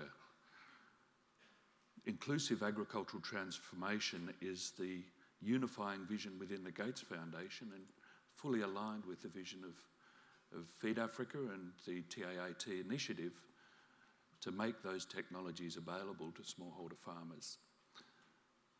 Those technologies exist, so what's failing? The system's failing. We know that yields in Africa, uh, cereals, for example, at 1.3 tonnes a hectare, are, are, less than half of the equivalent in, in South Asia and perhaps a, around about a quarter of what we can see in China. So the potential's there with existing technologies without us investing in, in, in additional technologies. We also know incongruously that the majority of the world's poor are smallholder farmers, particularly so in Africa, as we see uh, the increased concentration of extreme poverty unless we get these initiatives right. So the possibilities are there, waiting to be grasped. The, the uh, ability to, to, to drive that journey to prosperity. We know that economic growth or growth in the agriculture sector is so much more effective at lifting people out of poverty than growth in other sectors. So, what's not working? It is complex. How do we break the complexity down into ways that matter? And the technology needs obviously evolve as the journey to prosperity evolves and as economies transform and smallholder farmers engage in new ways. So clearly the focus on staple crop production for subsistence farmer is farmers is paramount. We have smallholders who aren't engaged formally in, in markets. To do so, need better varieties, better fertilisers to overcome the constraints, soil fertility, crop and pest disease, the fall armyworm examples that we've heard. So, how can systems be unblocked, systemic bottlenecks to get dry varieties onto smallholder farms, and bring with that fertilisers uh, as inputs that enable surpluses to be produced. And of course, as we all know, then moving from surplus to engage in markets opens new opportunities both on farm and off farm. Off farm in non farm economic pursuits, so critical as we heard in the, the youth panel discussion this morning, but on farm in relation to diversification, bringing with it new technology needs as smallholders then move into systems that aren't just driven through stable crop production, but bring in legumes into rotations, bring in livestock, bring in higher value commodities. So too, demanding new technologies, vaccines, animal health products, genetics uh, in, in livestock. We also see the benefits flowing through in nutrition, particularly uh, for women and girls, as these systems uh, diversify both on and off farm and bring benefits to the economy more broadly. So, to your question, Jennifer, what does success look like? Getting locally relevant varieties locally relevant technologies, locally relevant solutions to smallholder farmers. And TAAT is, is, is positioning to play a key role in bringing the best technologies available from the CGR system and beyond, and supporting in new ways their delivery to farmers. So we're, we're, delighted and uh, excited to be part of this initiative. Thank you, Nick. So really breaking down the complexity, making it easier to allow this adoption to happen, and I suppose also uh, ensuring confidence among the farmers that they can do this, uh, which will require quite a lot of support as well. So uh, turning to you, Halle, um, from the World Bank's perspective, and you guys are going to be a huge partner uh, in this effort, particularly on getting all of what is needed in terms of the soft and hard infrastructure in the countries so this can be absorbed. Um, from the World Bank's perspective, uh, why is transformative technology for African agriculture so important? Uh, let me also start, before I answer you, to uh, congratulate uh, Dr. Adesina for, uh, for uh, the prize. And it's, a, it's, a, it's the, I think it's the best and the biggest prize in agriculture. So heartfelt congratulations, not just from me, but from the whole uh, management of the World Bank for you, uh, Dr. Adesina, and, and, thanks, Jennifer, for inviting us. Um, the reason why we give so much importance to the technology is because we see the technology as an accelerator, as an enabler. And ultimately, what we all want to achieve is more incomes for the poor, better resilience and productivity, better nutrition, and more employment. These are the four objectives we want to pursue. And in order to achieve these four objectives, agriculture is central. In Africa, you cannot achieve poverty alleviation without agriculture development, without major strides in agricultural development. So it's a central part of the whole development debate is to get to the bottom of the agricultural uh, development issue. And to and technology is a way to boost that to accelerate that. So it's very you know our vision of this is very very clear. And that's why we have very closely we have we are you know uh, uh, we very much support the, the spirit and the objectives of the TAAT program. And as you know, we are already, as Dr. Adesina mentioned, we're already very closely collaborating, and I'll, I'll mention a bit more about uh, what we plan to do specifically. So now, how do we want to work on these four areas? On the question of employment, uh, Africa is expected to see one third of a billion new entrants in the job market by 2030. Our estimates are that about 25% of these people will get wage jobs under the best, most optimistic scenarios. How about the other 75%? What are they going to do? And agriculture, where most employment in Africa is today, is the, the best solution. But to look at agriculture not as pure farming, but to look at it at the whole value chain of agriculture, from the farm to the market. That is what we, you know, that's where we see a lot of the future employment of Africa coming from is through the agricultural value chains. So we have to emphasize, we have to sort of work on that. The second strand is resilience and productivity, improving resilience and productivity. Since the 1960s, most of the growth in agricultural, product, agricultural growth has been by expanding the land, expanding the, uh, the area, and clearing forests or uh, bushlands to plant. Today, we have reached, you know, we can't expand that further because we will damage the ecosystems. So, what we need to do is to improve productivity on those same plots of land like a lot of Asian countries have achieved. It is doable, and a lot of African countries have achieved. It is doable, we just have to scale it up and, and implement it, and technology can be a big booster there. So that would be the second. The third is on incomes. This relates very, very closely to the value chain issue that I mentioned earlier, because a lot of the jobs of the future will come from post-farm um, post-farm activities. You know, the, the coffee shop, uh, the restaurant, the little restaurant, the little shop, these are, are going to be owned by, uh, by young people. And the link to the market, the, the link to the farm, from the farm to that market is going to be very important and a generator of, of income. And fourth is nutrition. If you look under, if you look at the current productivity of agriculture in Africa, and you project that into the future, you see that uh, Africa will have to import a third to half of its food needs uh, by, um, by 2030. That represents about $200 billion of import bill per year. So if that capacity to produce is local, then you can spend your 200 billion uh, dollars on more productive uh, things and you know to basically grow your economy through other ways. So it is essential to get that nutrition and to basically be able to feed Africa for Africa to feed Africa, as Dr. Adesina always says. So it is, it is really that, that goes to uh, the point that Dr. Adesina always mentions. I think uh, in order to, for these four objectives to be achieved, there are a few prerequisites. One is that the policy environment is the correct one. I think that's, uh, you know, we, we very often disregard the importance of policy. And what I mean there is, for example, uh, public, public expenditure uh, policies. You look at spending in agriculture and you see that a lot of the spending, there is no issue necessarily with the volume of money going to the agriculture sector.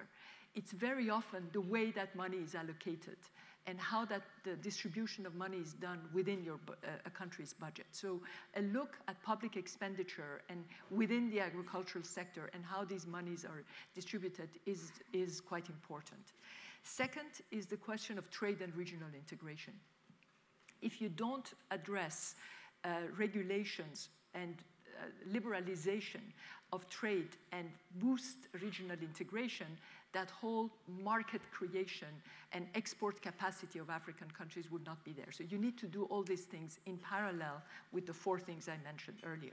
Third is, as we, we talked already about, is all the policies that will boost productivity increase, like targeted subsidies, like things like that.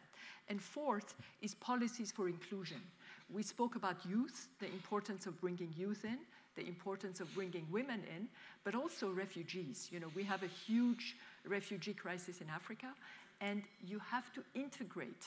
One of the main sources of integrating these refugees into this country is through agriculture. So again, policies that will help them integrate. So the policy environment is very important.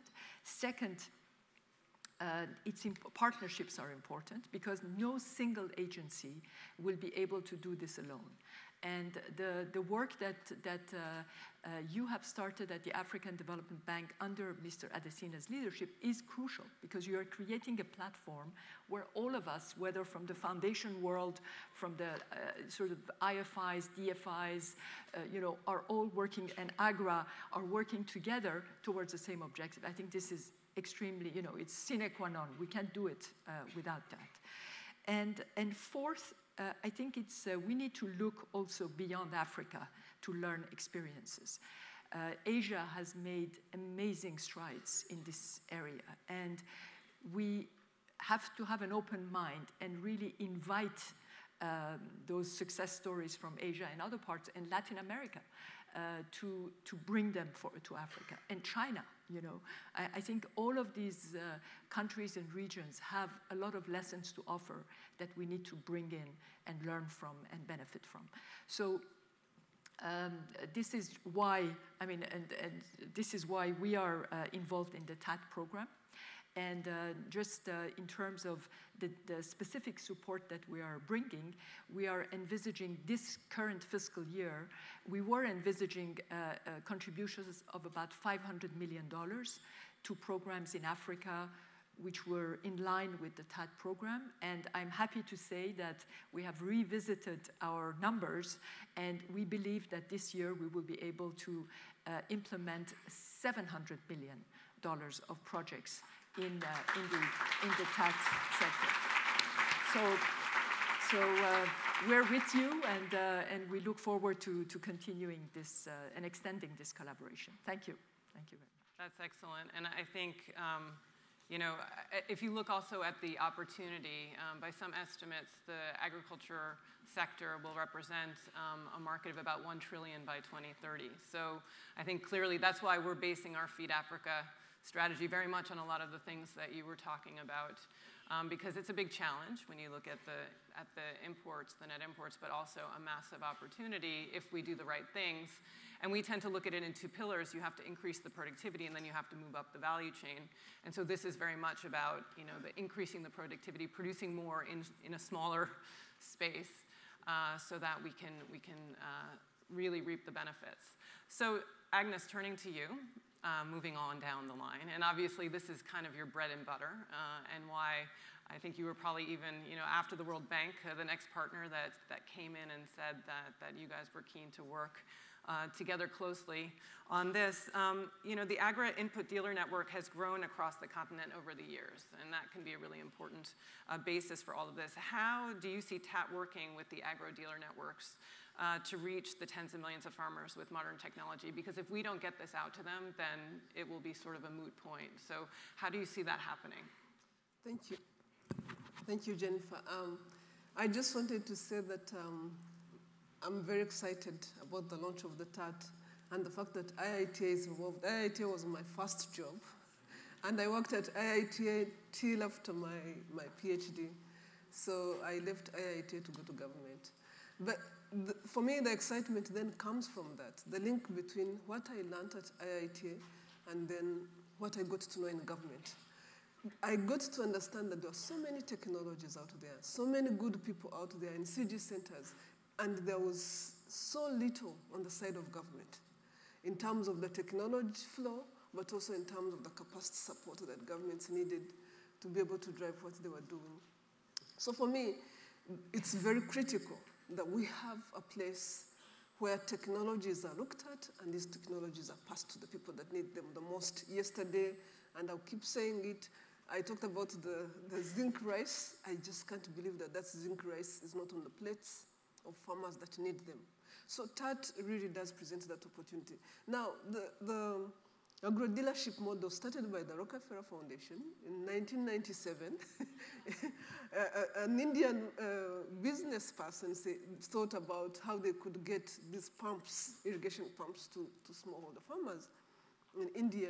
And that has since taken off. And, and uh, when Akin was at AGRA, definitely really put a lot of effort in pushing ensuring that these agro dealerships were developed to actually take seeds and farmers and, and fertilizers to farmers.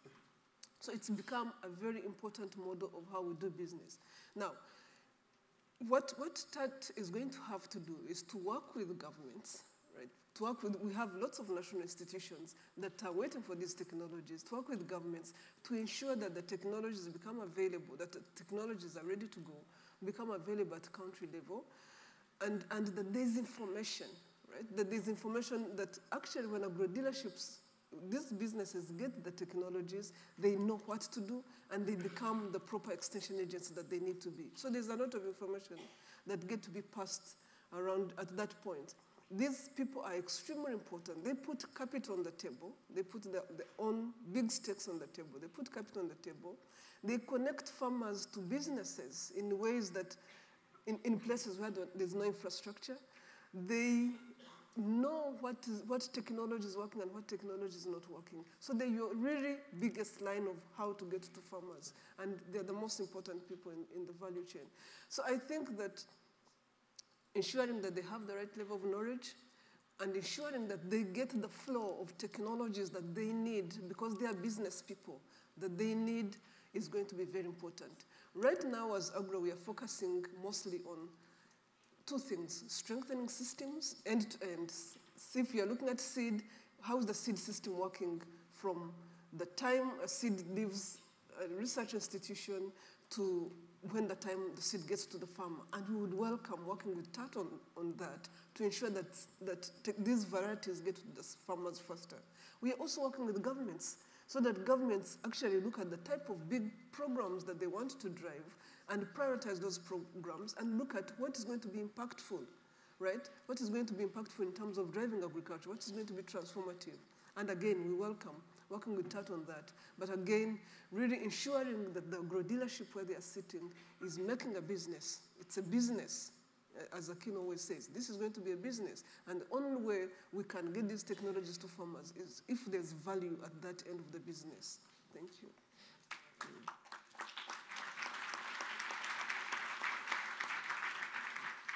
So let us not forget our mantra, which is agriculture as a business, not a way of life, right? As we roll this out, it's true.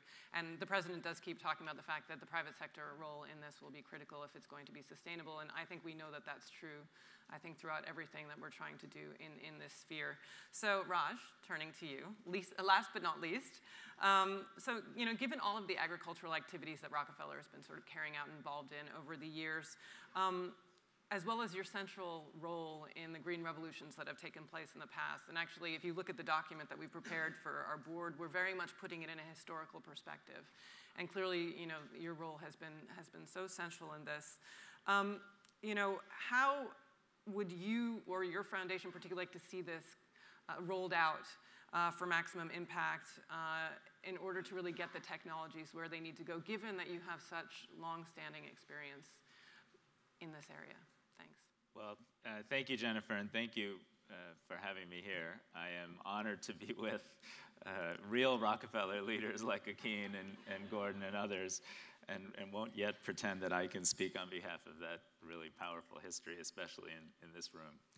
Uh, but I do want to make a few comments about the point you raised. Uh, you know, it would be easy to come into this room and believe that the world is angry and divisive that assistance levels for the priorities we care about are diminishing, uh, and that it's hard enough to keep our politics together for any responsible engagement around the world, much less uh, an ambition that is so bold that it's designed to truly see through to the final success the next green revolution in Africa. And so I think it is special and important that we all come here uh, with that bold aspiration at a time when the world desperately needs success stories for global cooperation designed to help lift people up, not put them down. And in that context, I think there are three reasons I'm very uh, excited and want to be all in on this effort and this vision forward. Uh, the first is this is an African led vision. As, as Akin uh, and others know, in 2003, Kofi Annan, with your leadership, brought people together in Maputo, brought the African heads of state together. This is now 15 years almost after that. And we have a very concrete, very specific vision led by a president of the African Development Bank. I want you all to appreciate how unique it is uh, that the president of the African Development Bank just defined the nation state as a bunch of lines and borders that split up agroecological zones. that's, that's, you know, that's fairly unique, and we should take advantage of having such a committed agronomist in this role to, to change the world. Uh, but we also have AGRA, and we have more than a decade of effort of building uh, I would argue, the premier institution technically on the ground in Africa, reaching 15 million farm households, putting all these new seed varieties there. It's no longer safe to say that we don't know how to get this done because Agnes has done it in government, Agnes has done it in a public private partnership. The team she leads and the networks they represent uh, have worked with all of you to deliver practical outcomes that we can measure and report on. And, and we have the African heads of state that have backed this vision for years and years and years. So now we have powerful, unique African leadership that it is our duty to all get behind. Second, we actually have an important opportunity uh, in the United States. You know, Mark Green is a special leader, and it made me really proud to see him wear the USAID uh, lapel, uh, logo on his lapel today, because, you know, this is tough politics in America. And American leadership on food and hunger, most crystallized by Dr. Borlaug and by uh, this state in many ways, uh, is so powerful, but it is at threat. And the fact that Mark Green is saying, I'm going to fight for Feed the Future, I'm going to fight for America's role in the world I'm going to fight for uh, our efforts to, to be part of these efforts. I want to do it in partnership, and I got your back means a lot. And I think we all in this room owe it to ourselves to find ways to partner with and support. They could be public private partnerships or otherwise, uh, Mark at this unique point in time. The politics he has to deal with are a lot tougher than the politics I had to deal with. Uh, I'll leave it at that. Uh, but but I saw, I saw the power, I saw the power of conservative Republicans holding hands with liberal Democrats to say, let's project America's leadership around the world for good and on behalf of the vulnerable. And let's do it with passion and commitment and faith and partnership. And you heard all that from Mark today. So, so that's the second task at hand is we got to get behind uh, a vision of engagement that is positive and effective. And the third, and, and by the way, that includes Nick you, because the Gates Foundation is easily the largest funder of agricultural development in the private philanthropic space. And uh, you know, Bill, Bill used to say that he started Microsoft during a recession. In the same way, you have the opportunity, I think, to reimagine the future of your engagement in agricultural development during a period of time when folks wonder what American leadership is going to look like. Uh, and finally, and perhaps most importantly, we have a set of results here that we can be concrete and specific about. 120 million metric tons of additional production, 40 million people moved out of poverty.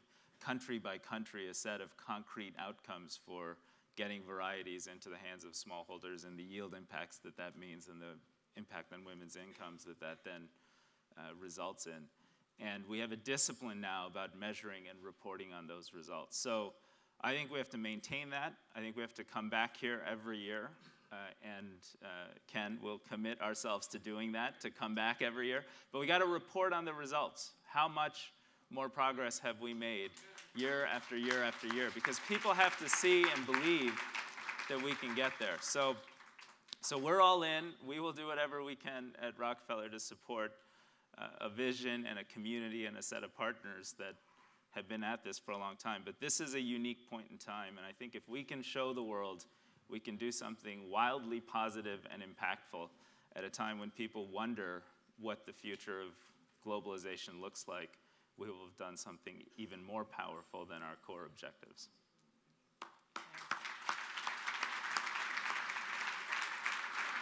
Thanks, Raj.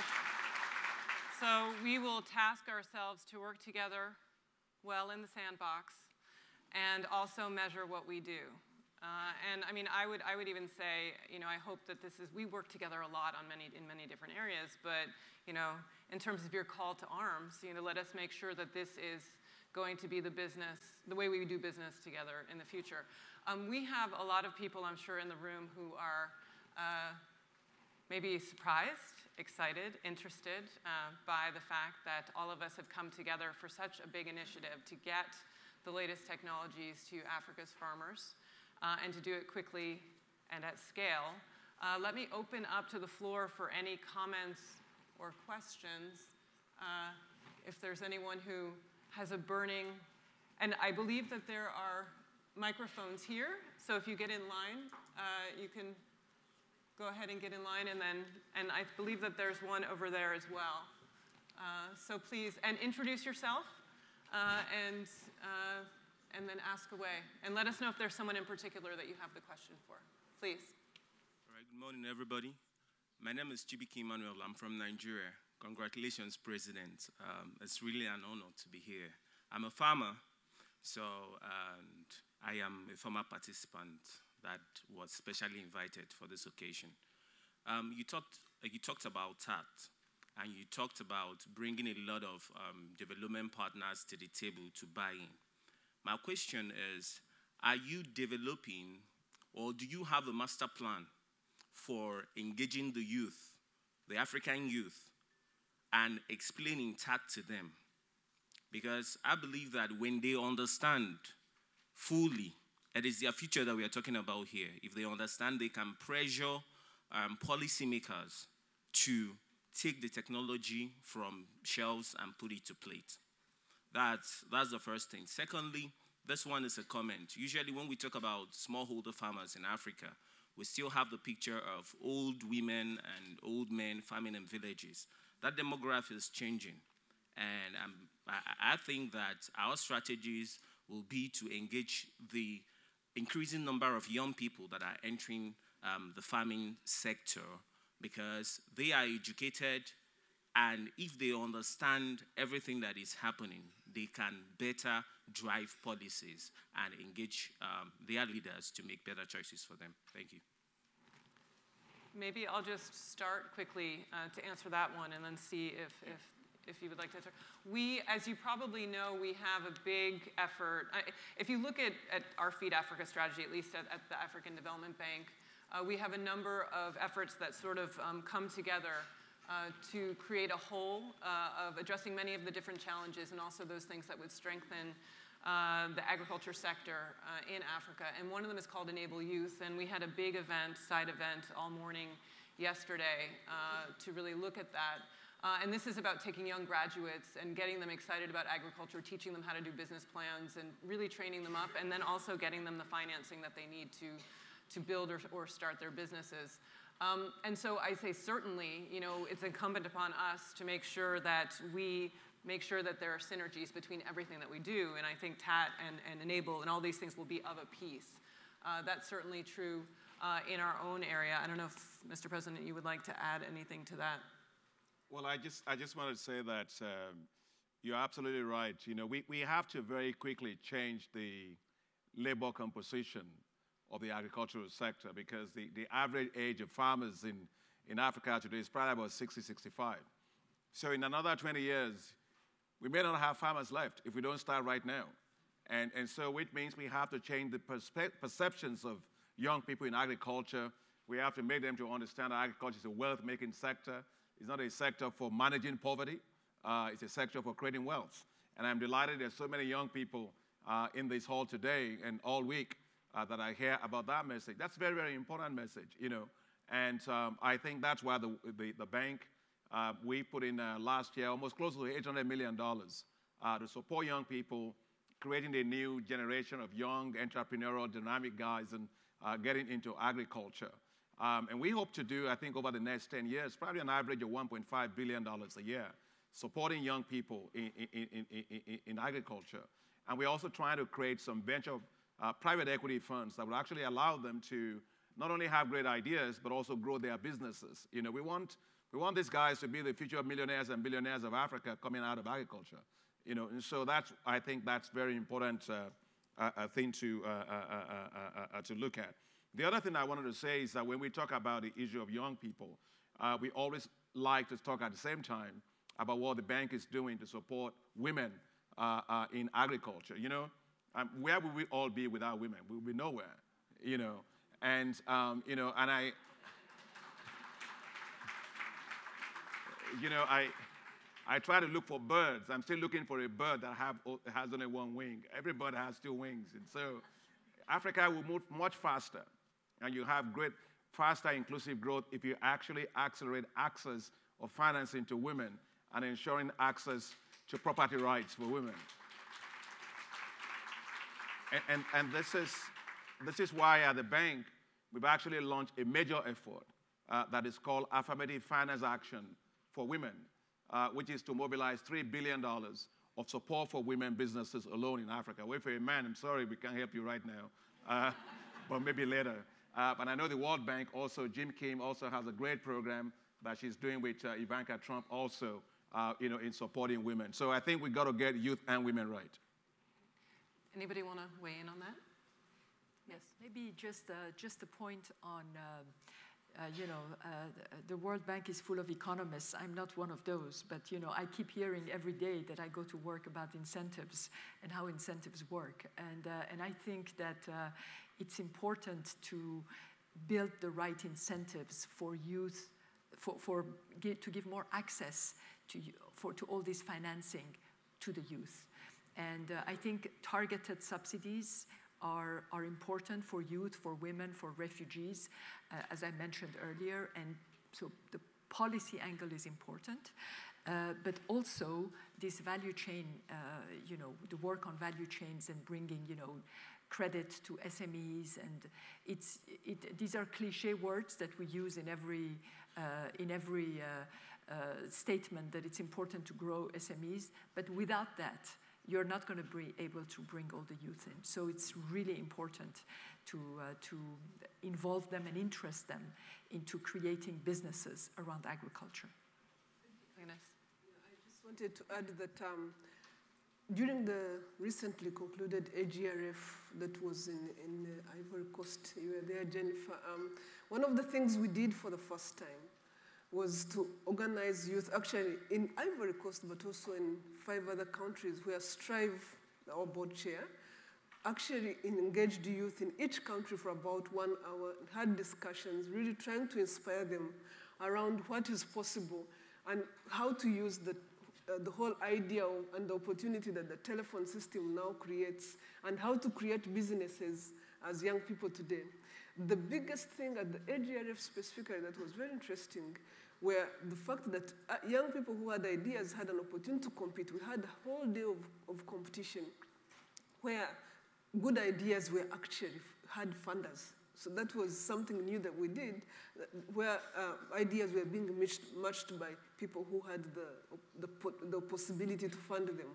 So I think that if we continue growing this, but also look at where technology is taking us and the opportunities presenting, especially in agriculture, there's a real opportunity to, to engage young people. The one that I like the most, of course, is the Uber tractor that we are now using in Nairobi and, and that AGRA is, is, is funding in a number of countries. Thank you. Now, I've just noticed that we're very popular. There's lots of people who want to ask questions. So maybe I'll take a few at a time. Maybe um, we'll take, we'll go back and forth. Uh, maybe take four or so, and then we'll, we'll go back to the panel. So please. Thank you. Um, I'm John Magnay from Opportunity International.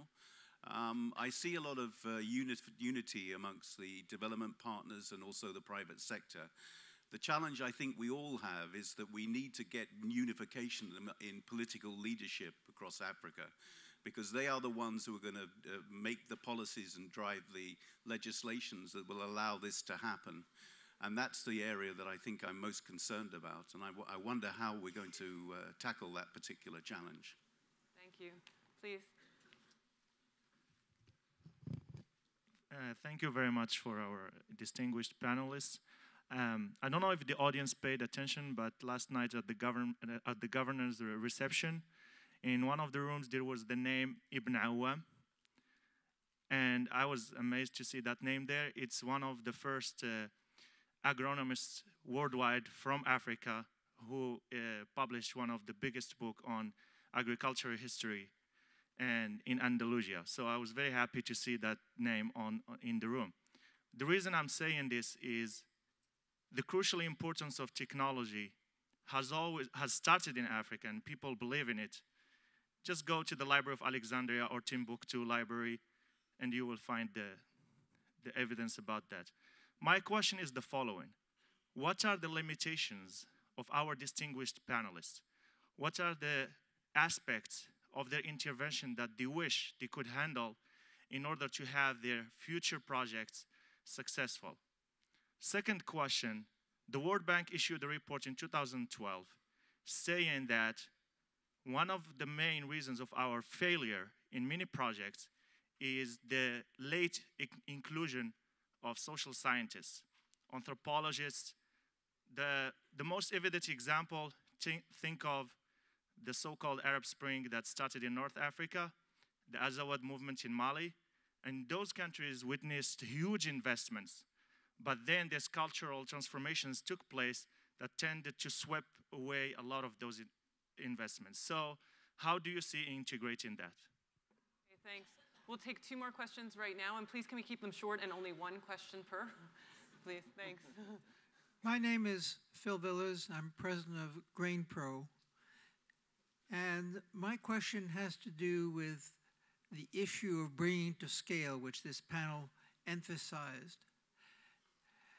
If you look at the food chain and the green revolution, what is the neglected part of that food chain? I would propose strongly that it is storage, which comes between production and consumption. And the problem of bringing to scale available technology which can reduce losses to less than 1% per year in storage is there. The fight against aflatoxins, which grow like crazy in hot climates, can be eliminated also by appropriate technology without the use of pesticides. And my question, with the possible exception of the Gates Foundation, which has done very important work on the front end of storage, why is this the neglected part of the food chain improvement? And one more on this side, and then we'll go back to the panel, please. I'm Andrew Manu from Ghana. I want to ask a question about the involvement of this partnership that you talk about today. I think there are so many countries who have prospered in so many areas because of the diaspora, the impact of diaspora. And I think we come here to learn things. We go to Europe to learn things, and we don't want it to stay with us. We want to go home and help. What is any policy that's been developed by the bank or any other organization to involve uh, the, the, diaspora in terms of agricultural development because uh, people are doing great work over all over the world uh, in terms of diaspora. And I wanted to know if there's been a concerted effort to uh, make it a standard thing to do to involve the diaspora. Thank you. Okay, so let's turn back. Uh, that was a large variety of questions. If I can summarize, one is great to see unity uh, among the donors, but what about among leaders? Uh, second was things like bringing in social scientists. Third was um, what is the role of storage and why is it neglected? And the fourth was what could be the role of the diaspora. Would anyone like to take any of those or all of those? Agnes? I guess I'll talk about two, the, the leadership part, that the question that was asked, and then the storage part. Now, earlier on, I was talking to you about how being, being in government, I definitely did recognize uh, how we were suffering with lack of technologies that we already, were already there. One of the things that we, we want to work on now as AGRA, we've started working on, is really the issue of state capacity in driving agricultural development we do recognize that countries, like I said earlier, are struggling with having the right capacities to define some of the challenges they're dealing with, to write some of those programs.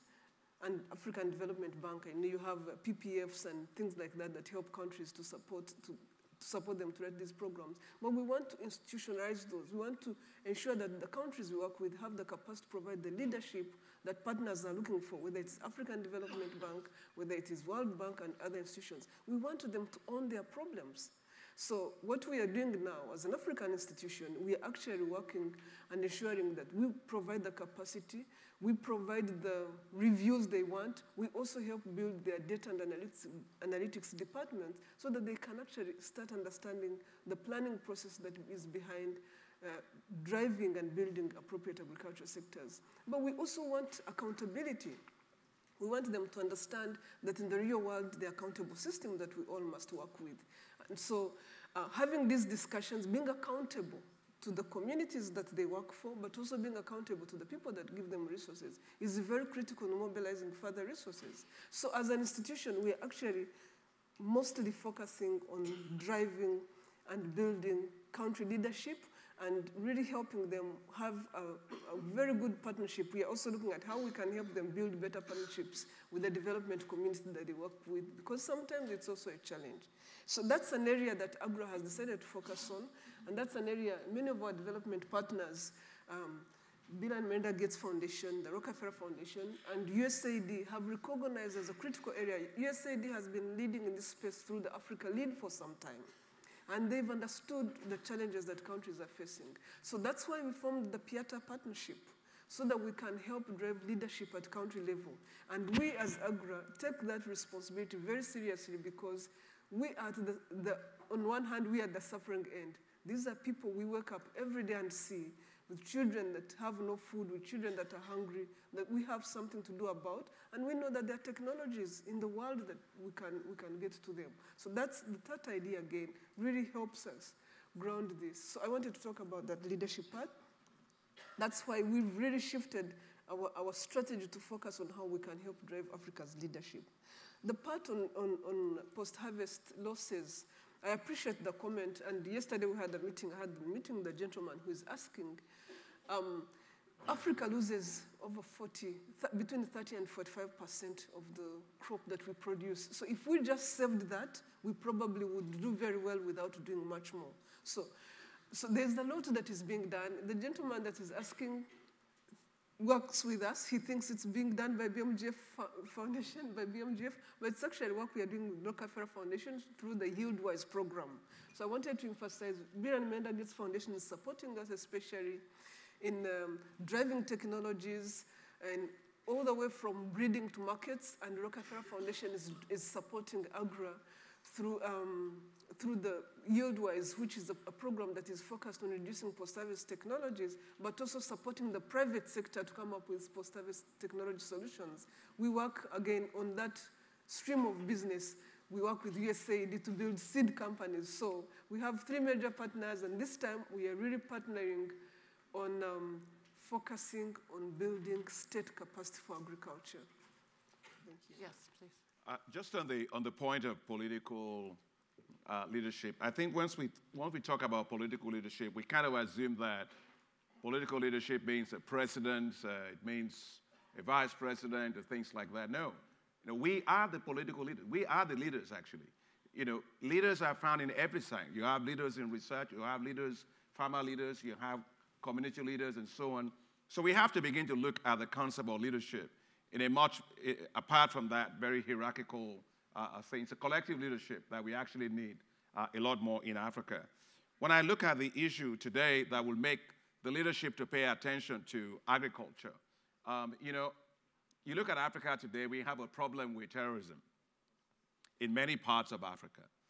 But in my view, I, I feel that part of the problem is what I call this uh, triangle of disaster. You've got three factors. Whenever you have them, you always have terrorists. You have high level of rural employment, especially among the youth, extreme rural poverty, and areas you have high levels of climate and environmental degradation. Anywhere you find those areas, whether it's in Lake Chad Basin, whether it's in northern Kenya, whether it's in northern Mali, you got terrorists always operating. I think what we've got to really do is to see the power of agriculture to transform rural economies from zones of economic misery to zones of economic prosperity. And I think that's what political leaders in particular have to pay a lot of attention to. Personally, I don't think we can solve the problem of insecurity in many parts of Africa uh, just by Apache helicopters. That's not how you're going to solve that problem. We've got to really go in there and make sure we create a lot of opportunities uh, for, uh, uh, uh for young people. That's another reason why leaders are paying a lot of attention to, uh, to agriculture today. And that's because of the, of the youth bulge. In the fact that what you were saying about, you know, the high level of youth unemployment that you have. And you have a lot of young people in the rural areas that can do so much. And they are going to put everybody's feet up on the, uh, on the fire to make sure we can create economic uh, opportunities uh, uh, for them.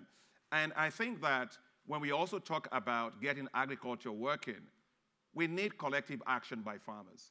You know, if you are, I'm, we're sitting right here in, uh, in Des Moines. I understand you can't be president of the United States if you don't win uh, in, uh, in Des Moines, Iowa. but how come uh, leaders win in Africa? Uh, they go to rural areas, you campaign, and after that you forget about them. Yet if you're in France, uh, if you do anything against farmers, they will take all their tractors and all the manures of their farm. Everything is on the, uh, on the. So what I'm trying to say is, I'm not organi- I'm not saying let's organize against government. Um, I'm just saying that we need very strong farmer institutions that can actually hold government accountable for what they actually said they are going to do. And I think that, the, that we should organize farmers to be able to have political voice. And I think when you have political voice, you get leaders actually listening to you quite a lot. Um, I want to also say something about the storage part, and I think Agnes uh, was saying that. Two points I just wanted to make is, you know, when Phil Nelson and, uh, you know, got the World Food Prize, it was for actually doing exactly that. Which is to help to reduce a lot of the work, uh, the post-harvest losses. We have the hermetic bags that are developed by Purdue University. Of course, I'm making a big pitch for Purdue because I'm, a, I'm an ag guy from Purdue, of course. Uh, but uh, the hermetic bags are great uh, to reduce losses, in particular for cowpeas uh, and things like that.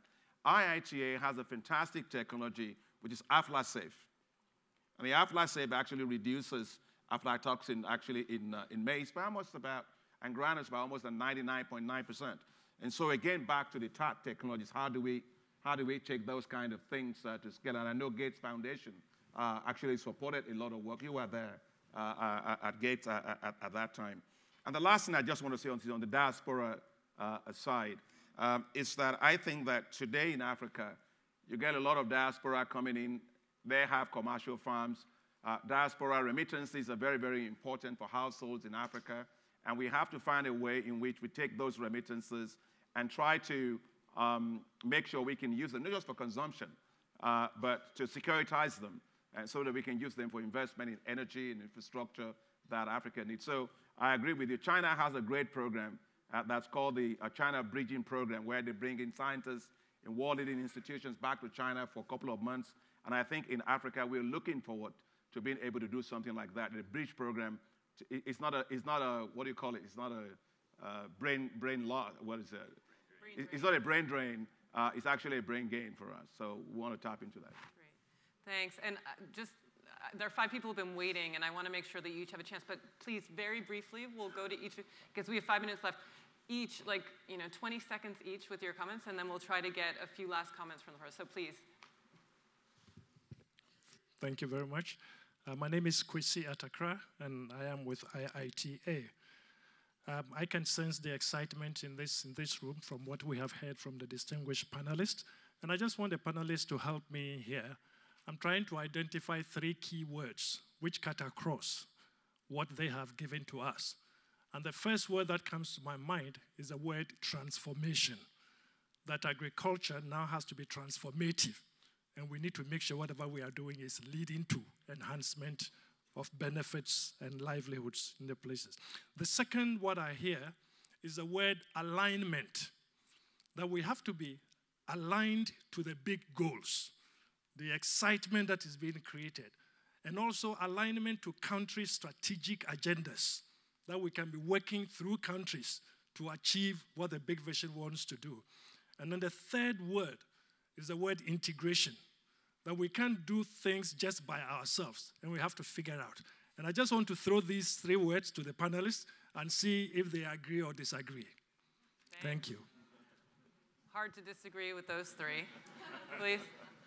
Um, I'm Tobela from the I'm Tobela Ngukwena from South Africa. I work for the University of Pretoria as a lecturer. I'm happy to have a developmental bank president who is so motivated and sees potential in what can happen in Africa. But I think we need to move beyond that. We need to move beyond potential. For many years, Africa has had potential and it has been, it has been spoken of. But we keep continu continuously, perpetually, we fail to deliver. And we fail to meet our potential. We continuously um, take for granted knowledge economy that has already been generated, that is already there for use. Um, technology is not new. Technology in agriculture has been there. In South Africa, we have consolidated, vertically integrated system, agricultural system that are working effectively. But failure to take those to small scale farmers, I don't know where we're failing, but if Brazil can collectively, amongst small scale producers, um, constitute um, cooperatives that are able, at the end of the day, to export to Africa, then there's a problem, either with our statesmen or with what we're doing as developmental agents in Africa. Thank you very much. Thank you. And I think that that's really the goal of TAAT. Um, so please. Nabeeha Kazi, President and CEO of Humanitas Global and Chair of the Community for Zero Hunger. Akin, last year at a meeting, you had a brilliant statement that stayed with me. It was Africa's development will come from within Africa, not from outside Africa. And my question is for both you and Agnes, as both of you are really leading that charge and, and driving the agenda and what is possible. Who from within Africa, again, both for Akin and, and Agnes, who from within Africa is not at the table, who needs to be at the table, and what issues are being overlooked by the donor community that need to be prioritized? Thank you. Please, quickly. Hemant here. I uh, handle a seed systems project in cassava in Nigeria. Uh, hats off to the uh, convening power of uh, World Food Prize. This is the most powerful panel that I have uh, experienced in my life so far. So, so what? So uh, we say involving youth in solving the demographic problems of Africa is a given. Uh, in that, as uh, Dr. Adesina said, the times have changed. In my mind, initially we said give them fish, but then we said that time has gone, teach them fishing. But I think that time also has gone, and now we need to set up a fishing industry because if we teach fishing, we can teach them only so far as what we know. But if you set up the fishing industry, let somebody do the um, eggs, some, let somebody do the processing, let somebody come up with new nets and all that. So uh, Prime Minister of, ex-Prime Minister of India used to say, I want to see the animal spirits in the industry.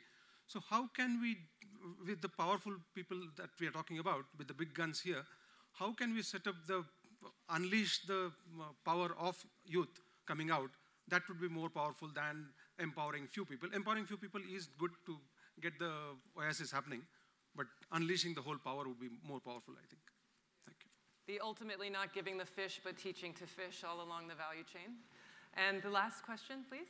Pam Johnson, farmer from Iowa, and I want to offer the voice of farmers collectively to help turn this wheel. It inspires me. I see the need, and I'm president of MAIZALL, an international alliance of corn growers from Argentina and Brazil and the US and we are pledged to have agriculture without borders so that farmers, small and large, have access to technology, and there are good government policies to allow that to happen. And especially now with Uganda adopting the new biosafety protocol law, we would like to be able to offer our services to help carry on that mission. So thank you for your panel. Excellent. Thank you. Okay, so in the last very, very brief minutes that we have, I think two perhaps, if I could just go along and just ask each of you to, to say a few words, um, you know, ideally responding a little bit to what you heard and also any final thoughts that you have for the room and, and how we can work uh, very effectively together. Please, Thank, Nick. Thanks, Jennifer. Brief, uh, brief response and thoughts. Just firstly, in relation to Kwesi's three proposals, I think transformation, alignment, and integration can't argue with those. I just wanted to pick up on the transformation piece and emphasise the importance of the inclusive nature of that transformation. We know and we are seeing uh, agricultural economies transforming. There are different paths for that transformation. To be inclusive requires deliberate actions. We've talked already on the panel and in the sessions prior around the importance of women and girls, importance of reaching uh, those harder to reach, further from markets, further from infrastructure. So just to really emphasise that inclusive inclusivity on this trajectory uh, to agricultural and economic transformation as we see the rise of medium farms and the like. The other, I think, very briefly aspect that hasn't come up but is relevant to a number of the questions in the Africa led national capacities of agricultural research and extension systems uh, to enable technologies to be made locally relevant and to continue to drive progress, drawing on the best. Um, I'll just, it's back. Thank you. But recognizing that Asia's transformation journey is a very different one to Africa's, given the agroecologies and the local context so that patient investment in national capacities in extension, uh, not in ways of the past, but in exciting new ways, incorporating digital to get new knowledge and, and products to farmers. Hello, yes. Uh, I just, um, you know, uh, some of the questions uh, made me think that really we may be looking at agriculture as a narrow sector. And it is not. It is really a theme. It is not a, you know, something that you can just look at one narrow way. You need to look at markets, you need to look at you know, how to bring in youth, how to make it inclusive. And uh, the question on the social scientist, I think, uh, sort of connects with this because you really need, to look at things, uh, bring different uh, strands uh, into it to succeed. Otherwise, by looking purely at the sort of fertilizer, entrance, you know, the, the very narrow agricultural issues, we're not going to be able to make it. We have to look at it more broadly and we have to bring in uh, those other sectors to support it. Yeah, I just wanted to mention the, the, the, the part that is missing for me when you said transformation, alignment, and uh, integration is partnerships. So assuming that that was implied as well. Because one thing we have learned is there's so many of us there that are trying to do the right thing, but we really need to align our efforts. We need to integrate our efforts. We need to make sure that we are adding up.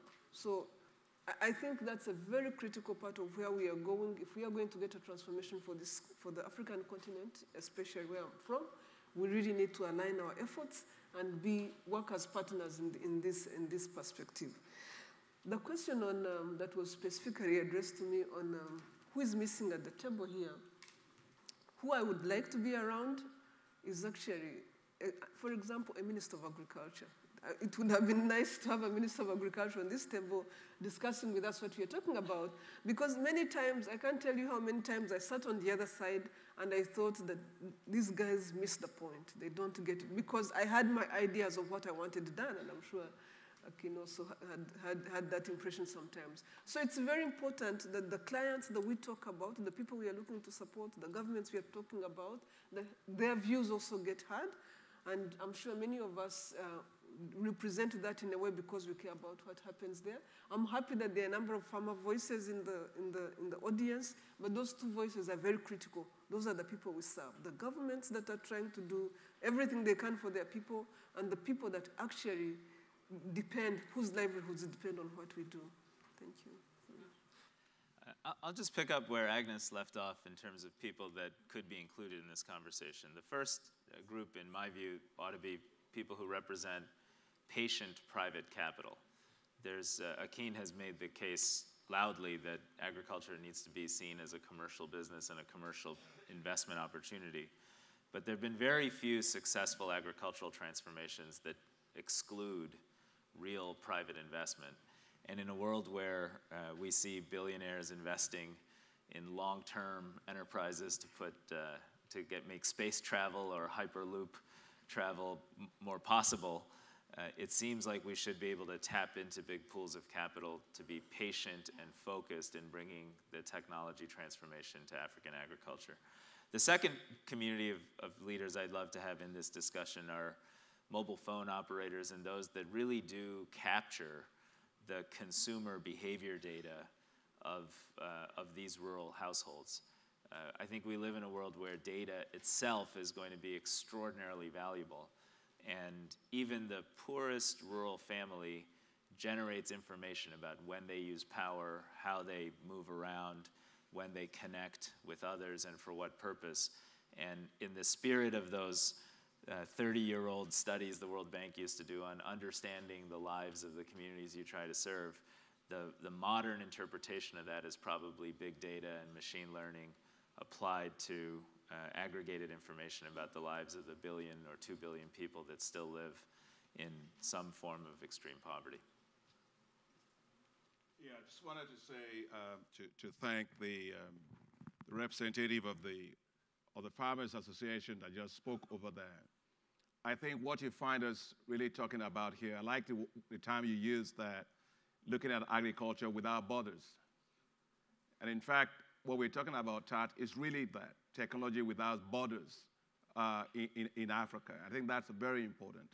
So we can have technologies without borders, we can have innovations without borders, but we also need partnership without borders.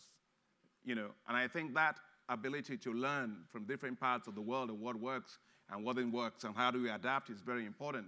That's why I was very delighted with the conversation we had with Embrapa and with uh, the Argentinians and so on about uh, the, their successes in actually their cerrados uh, of Brazil and how those cerrados aren't that much. In fact, our savannas are better than the cerrados of Brazil and how they were able to unlock their potential. And we are sitting on ours. And to your point, nobody, Dr. Borlaug said it all the time. Uh, you know, if you, if you like uh, potential, he hasn't seen it yet on the menu. You, nobody eats it. You know, so we've got to really make sure that we unlock this. My mother taught me something which I never forgot. That if you're trying to sweep, you have a broom and you have different strands of it, and you can either use those little sticks, strands of it to sweep. Of course, I mean to sweep, you will not succeed. But if you took all the strands together and you, you, you, you, you, you, you, you, you know, wrap them all together and you try to sweep, it, it works. It's like a vacuum cleaner. At least when I was growing up, that was our own vacuum cleaner. Uh, uh, you know, and so what you have here is uh, the power of partnerships. I think partnerships is the way to go. You know, I have absolutely no interest in planting any flags. Nobody eats them, you know, but we want to work together to make sure that we can transform the lives of people together and really lift millions of people out of poverty. I'm going to end on the point that Raj made on the issue of private sector because Raj is absolutely correct. And that's why for us at the African Development Bank, we're also launching uh, this, this next year what is called the Africa Investment Forum to try to harness exactly the global pension funds, uh, the sovereign wealth funds, the institutional investors, and similar ones in Africa to invest in agriculture, to invest in rural energy, in renewable energy, uh, in logistic chains and things like that, and warehousing and things that we need.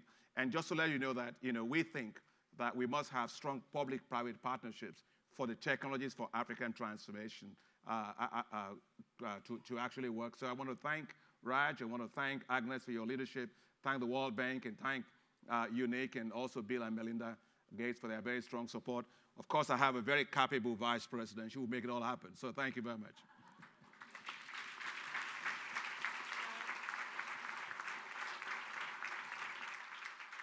What else is there to say? I think it's all been said. Um, now we will go forth and prosper. Uh, carpe diem. Uh, and as, uh, as we said, we will come back next year and we will tell you what we've achieved. And we are planning to achieve things quickly. So thank you very much. Uh, and uh, thank you to the panel. And we wish you a great rest of, of your day. Thank Thanks. you. Thank you very much. Sorry, uh, before you all go, I, I want the dean of our board, who's been listening very well, to get up and uh, be recognized. He's going to also help us a lot. Dean, thank you.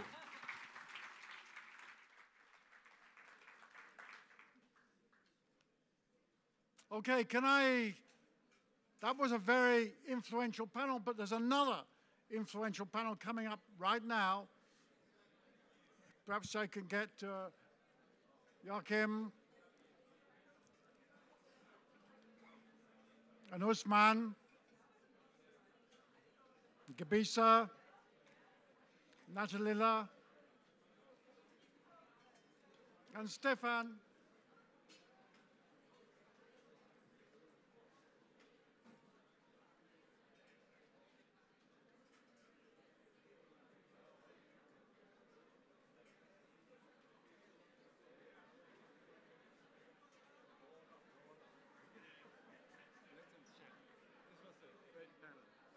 Yeah, that was terrific panel, but just want to make sure we don't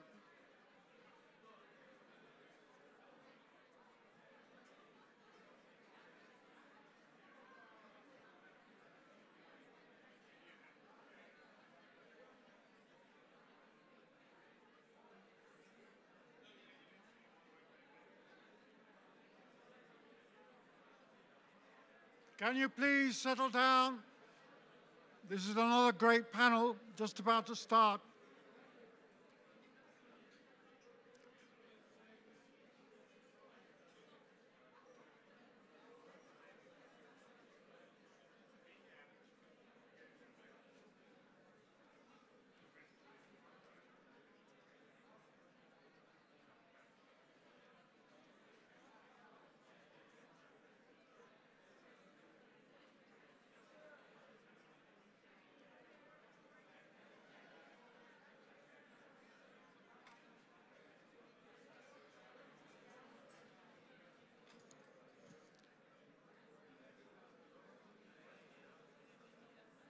Can I please have your attention?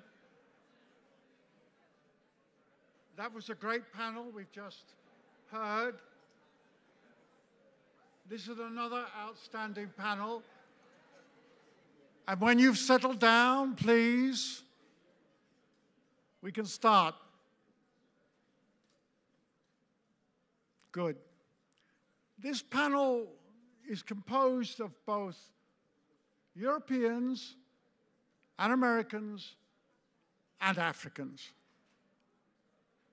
It's a unique group of people who've come together here.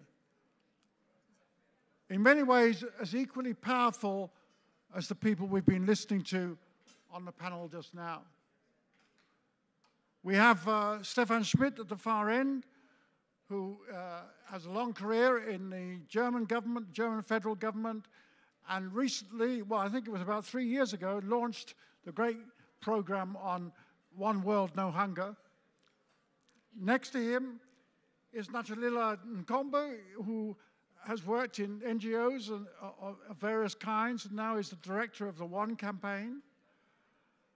Next to her is Gebisa Ejeta, who uh, is Ethiopian, of course, but is a great plant breeder, breeder of sorghum based in, in Purdue. We always hear a lot about Purdue. Then Ousmane Badiane, who uh, was um, uh, also trained in, in, in, in Germany uh, and uh, is now the director of IFPRI based in, in Africa. And, and finally, Joachim von Braun, next to me here, who uh, was, as many of you know, the director of IFPRI and um, is now running a, a great research uh, department at, at Bonn University and has recently been uh, elected as the president of the Pontifical Academy. You can't get much higher than that. Well, you can, but that would depose the Pope, I think. Not as a Protestant. Yes, that's right.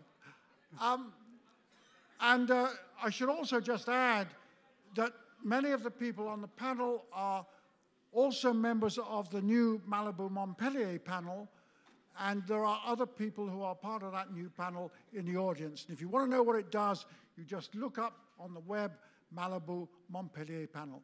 I'll hand over to Joachim now to run this discussion. Thank you, Joachim. Thank you so much, Gordon, uh, for this uh, nice introduction. Uh, Gordon is a member of the Malabo Montpellier panel. He humbly hid that from you. Um, I'm very pleased to moderate this uh, panel, and um, uh, let me underline that um, this is uh, an international panel focused on food and agriculture and with a particular emphasis on nutrition. Um, in the end, agriculture is uh, to improve people's livelihood, their satisfaction with life, and that very much depends on nutrition. So talking about agriculture is not enough. Uh, we have to uh, go for the additional, not last mile, these are several miles to transform uh, the uh, market and production um, and uh, public services systems into good nutrition outcomes. It is um, 12 years ago that some of us were together in um, a conference which we co-organized, um, which we organized by IFPRI in Kampala, Uganda. 500 African leaders in the room, including uh, three presidents from not only Uganda but also uh, Nigeria and Senegal. And Norman Borlaug gave a powerful speech, and at the end, he shouted at them, at us in the audience, action, action, action. So, has action happened? Actually, I think yes. Maybe two actions, but not three, is what Norm really asked for. Nutrition improved in Africa, and the report which we will um, uh, present to you today by the Malabo Montpellier panel, called Nourished, how Africa can build a future free from hunger and malnutrition. We have a few copies out there. um, documents the tremendous success some countries, actually, we look at seven countries, have made. And um, uh, our panel members, the first three speakers on our panel, will say why. What did they got right? What have they gotten right? And um, uh, our fourth panel speaker will mainly emphasize the experiences um, of the German presidency leading this year's G20, the G20 nations, the um, uh, leading uh, industrialized uh, uh, and emerging economy nations. So Germany uh, had um, the opportunity to influence the agenda this year, and there was strong emphasis on Africa and on uh, food and nutrition security, which uh, we hope will continue when Argentina takes the presidency next year. Actually, I have good signals from Argentina to have a strong emphasis on agriculture development, sustainable land use, healthy soils, and food security in their emerging agenda. Um, the panel has been introduced. You can read more about us uh, in the beautiful brochures. I don't repeat. Ousmane, you have the floor. Thank you, Joachim. Uh, thank you, everyone, and good morning. Uh, I've been asked to um, present uh, the work of the uh, Malabo Montpellier panel. I'm waiting for the PowerPoint uh, to be loaded so we can get started.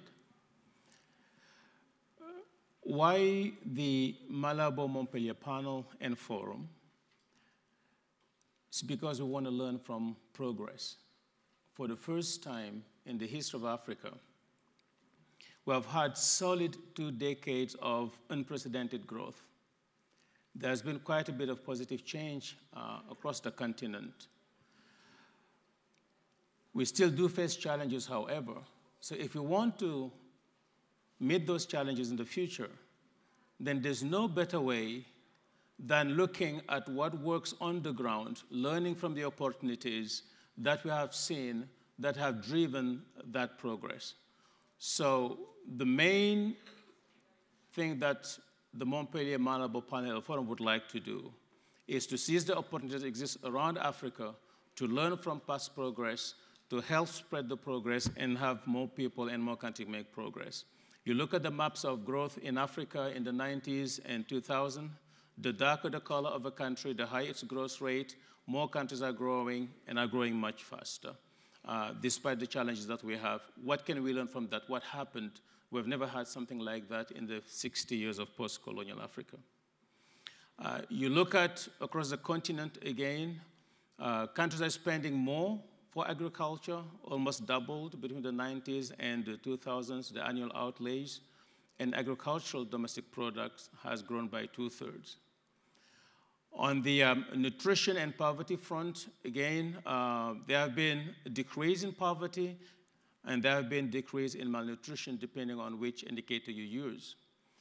The uh, question is not the magnitude and the impact, but the how and the whys so that we can learn from that.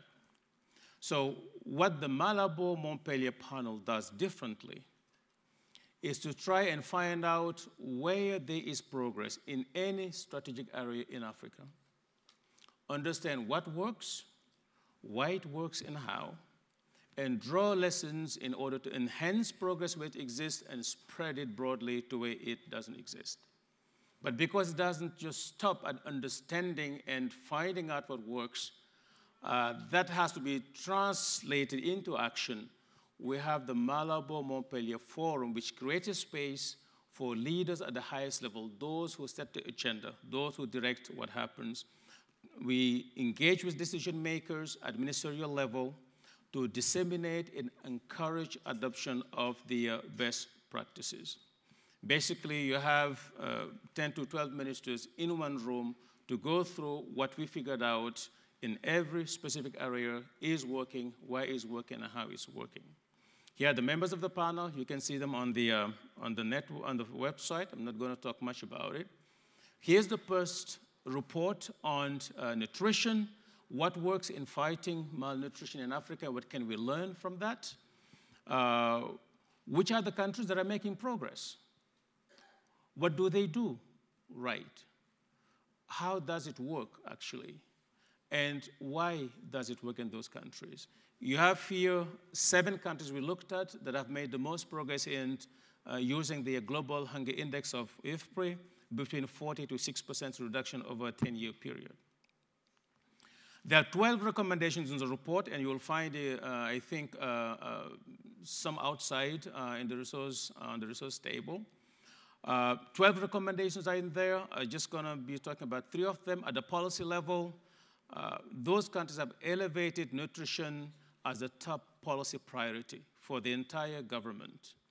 They have defined clear action agenda items across parts of governments. Ministries and agents have worked on that. And programmatically, they have worked on the ground uh, in a proactive way to target interventions, to find problems where they are, and have actions that work. You could find details uh, in the report, but that's what summarizes and that's what sets them apart. Those lessons will be taken now to uh, the Malabo Montpellier Forum, uh, where ministers from those countries that really achieved the most progress and ministers from other countries are going to be sitting around the table. Uh, the Malabo Montpellier Forum is uh, chaired or co-chaired by the Right Honorable uh, Dr. Saulos Klaus Chilima, VP of Malawi, and His Excellency Abdoulaye Bio-Tchane, the Minister of Planning and Development for the Republic of Benin. So the first meeting based on this report is taking place uh, in November, November 14 in Cotonou, uh, bringing ministers from those different uh, parties. Thank you, uh, and this is the work of the Malabo panel and the Malabo Montpellier Forum. Thank you. Thank you very much. Thank you, Ousmane. Gebisa, you're next. I want to run through the panel. Um, if someone of you has a very urgent question in between, um, walk up to the microphone and hopefully I see you. Currently, I see nobody. Give me some. Yes, thank you. I, I would like to uh, begin uh, to, by establishing that, that this report on how Africa can build a future free from hunger and malnutrition is premised on the aspirations of the Sustainable Development Goal number two that asks for ending hunger, achieve food security, and, and uh, increase nutrition, and promote sustainable agriculture.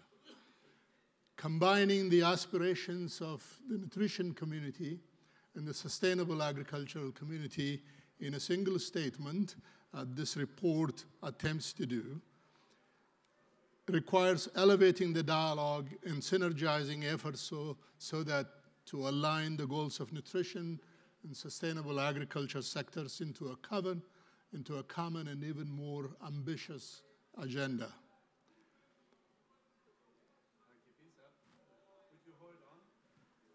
Our colleagues uh, are coming back from their policy lobbying session outside with the previous panel. Let them walk in, and then we calm down. Uh, can we get the, close, the door closed? Thank you. Back. Combining these two agendas into a common goal is not necessarily complex agenda, and it's not because, in principle, fundamentally it's not complex, and it's not because they are in any way diametrically opposed to each other. A productive, diverse, ecologically and socially sustainable agricultural system has long been recognized as a being crucial for shaping healthy diets and improve human nutrition. The 1937 League of Nations report on the relation of nutrition to health, agriculture, and economic policy recognized the importance of agricultural adaptation for dietary diversification, noting that changes in production decision that supported more fruits and vegetables could lead to nutritional benefits. As history would have it, at the end of the Second World, however, the urgency of the time shifted the agenda and focus so that increasing, increasing food production emerged as fundamental to fighting hunger, reducing social inequalities, and lifting families out of poverty. Decades of generous research investment created and established international agricultural research centers, provided opportunities for brilliant scientists, the first generation of scientists, such as Norman Borlaug, M.S. Swaminathan, Henry Beachell, and Gurdev Khush, just to limit the names to those that worked on wheat and rice, the opportunities to generate green revolution technologies of high yield wheat and rice, doubling cereal yields in Latin America and Asia. However, part of that legacy led to persistent emphasis on expanding production of a short list of staples. Just three food crops today, rice, maize, and wheat, provide nearly two thirds of global dietary energy intake. The global supply of ancient grains, pulses, fruits, and vegetables, the primary sources of diversity in most diets of the old world, became insufficient to meet recommended population level intake. At the same time, agriculture increasingly became an engine not only for producing food, but for generating animal feed, biofuels, and industrial ingredients for processed food products, including, including sugared sweetened beverages, ready-to-eat meals, and snacks. In any case, as you would know, Africa missed on the Green Revolution with its many successes and its few limitations. Aspirations that are now embedded in the UN's Sustainable Development Goals, the Africa Union's Agenda 2063, and the Malabo Declaration, and that we try to focus on this morning in our report, Nourished, are meant to enhance the chances, are meant to enhance the chances in which Africa will become both a contributor and beneficiary towards a future free from hunger and malnutrition. To have this chance, Africa's food and agriculture sector should be expected to provide integrative solution that combine malnutrition on multiple fronts across the spectrum from deficiencies of energy and micronutrients to fighting over overconsumption, obesity, and related diseases.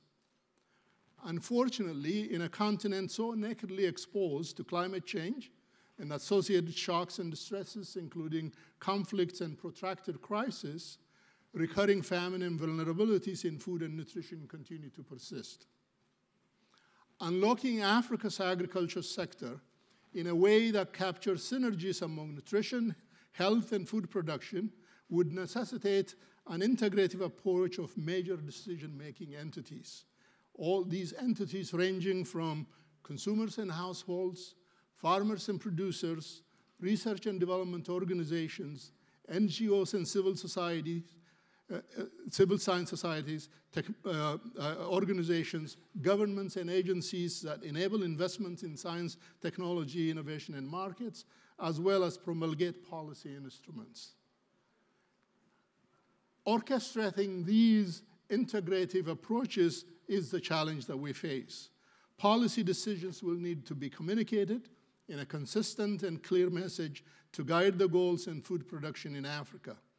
If the goals of agriculture are to be aligned with our aspirations of healthy diet, diversity of crops must be prioritized along the critical goals of enhancing staple crop productivity. As a plant breeder, to achieve the Malabo Declaration targets of reducing stunting, wasting, and underweight, and ensuring di diversity of women and meeting minimum dietary standards for African infants by 2025, a revitalized African food system, food system that involves research, development, policy perspective will need to include a variety of options and recommendations. One, we need to improve major staples for nutritional quality via biofortifications and build reliable avenues for their delivery and impact. Second, improve, we need investment to improve nutrient-dense ancient grains, both African and introduced, for greater productivity. Third, we need to expand and introduce the production and use of pulses, fruits, and vegetables into many more communities. There is an enormous under, unrealized market potential in the production of ancient grains pulses, fruits, and vegetables in African communities that could contribute to new livelihood opportunities for millions of smallholder farmers. These same crops are essential for preventing undernutrition, obesity, and diet-related diseases that together contribute to increases in health-related costs and lost productivity. Parallel efforts are needed to strengthen the functioning of markets and adapting value, food value chains to accompany these enhanced production efficiencies. It will require a massive campaign for evidence-based behavioral change education, strategies that reflect that enormously successful barrage of commercial marketing approaches used by the food and beverage industry that promote highly processed food and beverages so that we may instill appreciation and respect for the importance and values of quality diet and nutrition. Wholesome food systems also have the potential to affect food safety, exposure to infectious Ill illnesses, food prices, household income, and women's access to productive resources, all of which are key mediators of nutrition and health. Finally, furthermore, as the report clearly states, since much of the data necessary for policy action are not readily available in many African countries, data platforms need to be built, metrics harmonized, and tracking systems established to effectively combat malnutrition and to proact proactively fend off nutritional problems before a food crisis erupts. Thank, Thank you. you. Thank you very much.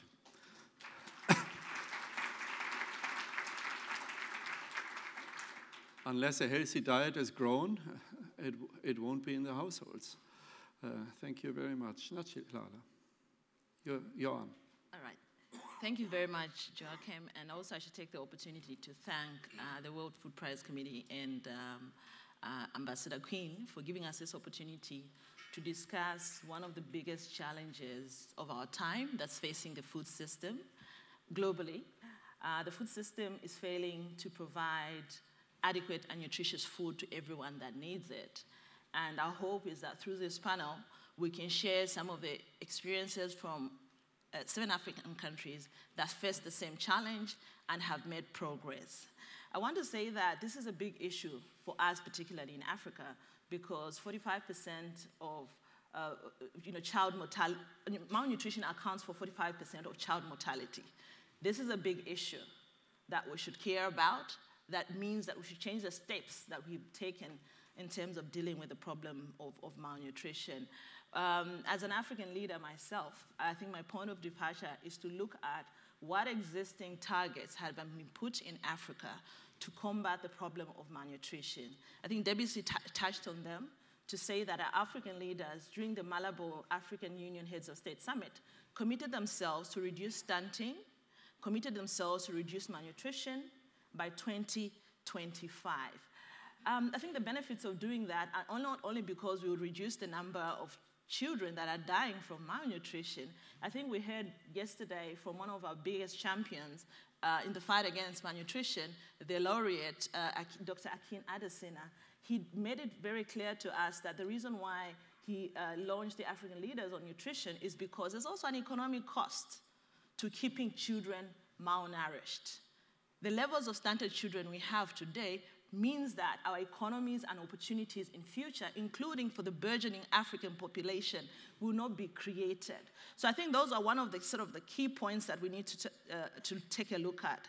Um, I think also, if we, we are going to address the problem of malnutrition, we need then to cleverly look at how we harness uh, the agriculture opportunity. I think in the last panel, there's a mention of who is not on the table, um, which voices are not represented.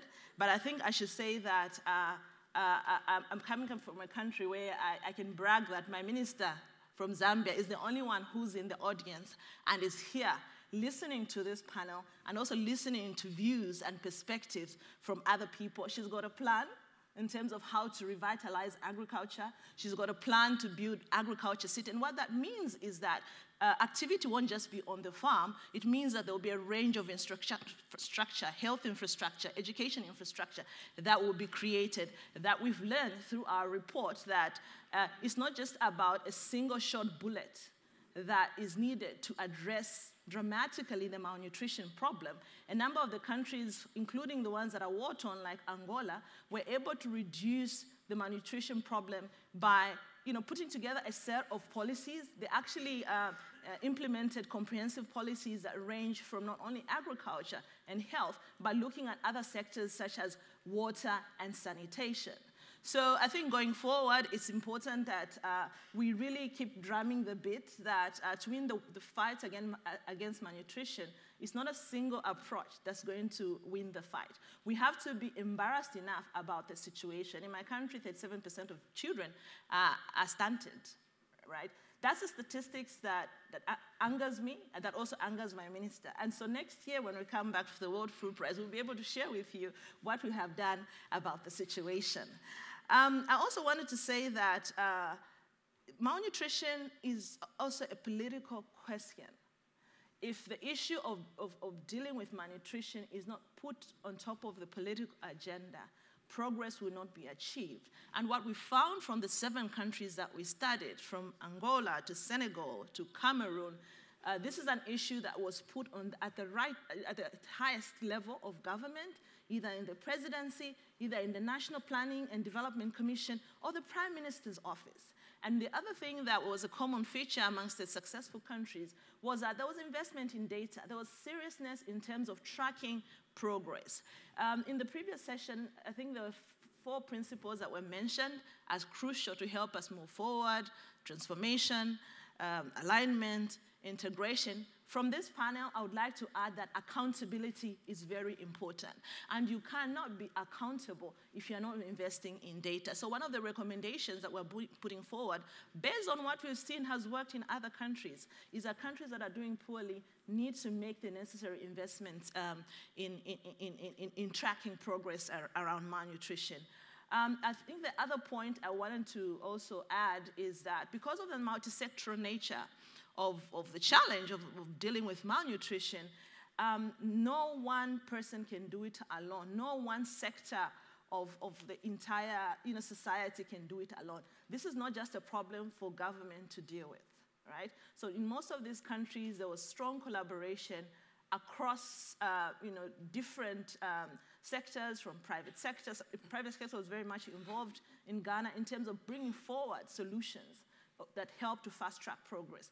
Civil society also playing their role in terms of uh, doing the education and delivery of certain programs that were needed. So I just wanted to uh, underscore the other principle that was raised in the previous panel on the importance of, of partnership uh, for us to win, to win this war. And again, I want to come back on the uh, economic uh, imperative of this. We know that uh, most, most of our governments struggle with finances in terms of making decisions in terms of where they put their limited resources. But the good news is that when you make investments in, in nutrition, uh, the data that exists out there is that a dollar investment in nutrition gets back for the economy $16. So that makes economic sense. I mean, we have a moral obligation to deal with this. And um, I think we, have we, we've really been shown that uh, without uh, bold and consistent action, that's multi-sectoral and implementation. I think part of the challenge we normally have is that we have a whole range of good policies, good knowledge that's gathered, but it's not implemented. And in, most, in all the seven countries, each one of them were very serious in making sure that each government department and ministry that was responsible was implementing, was budgeting the resources that are needed, and was implementing and accounting. So I'll leave it at that for now, and um, i guess I'll pass it on to Stefan. well, thank you very much. Um, thank you, Nachilala, for mentioning and emphasizing the need for policy change. It's no surprise that this uh, document, the Malabo Montpellier report on uh, improved nutrition in Africa, has um, half of its recommendation really as policy innovations which need to come along with the seed innovations and the technological side, uh, which Gebisa uh, emphasized. The policy innovations are the ones which made the trick in the seven countries which have been um, presented uh, uh and which we analyzed in this report systematically. Uh, Stefan, this uh, year, um, 2017, has been a particularly dense one for you um, as Deputy Director General of the uh, Ministry for Economic Cooperation and Development, not only due to G20, uh, but uh, mainly so. Um, and uh, tell us a bit um, what came out um, and uh, um, how, how you see the future of the cooperation, um, uh, which um, we have also heard uh, as uh, a recommendation from the administrator of USAID, Mr. Green. Please go ahead. Yeah, thank you, Rahmi. Um, well, yeah. Uh, four years ago, the BMZ, the German Federal Ministry for Economic Cooperation and Development, launched a One World uh, No Hunger initiative.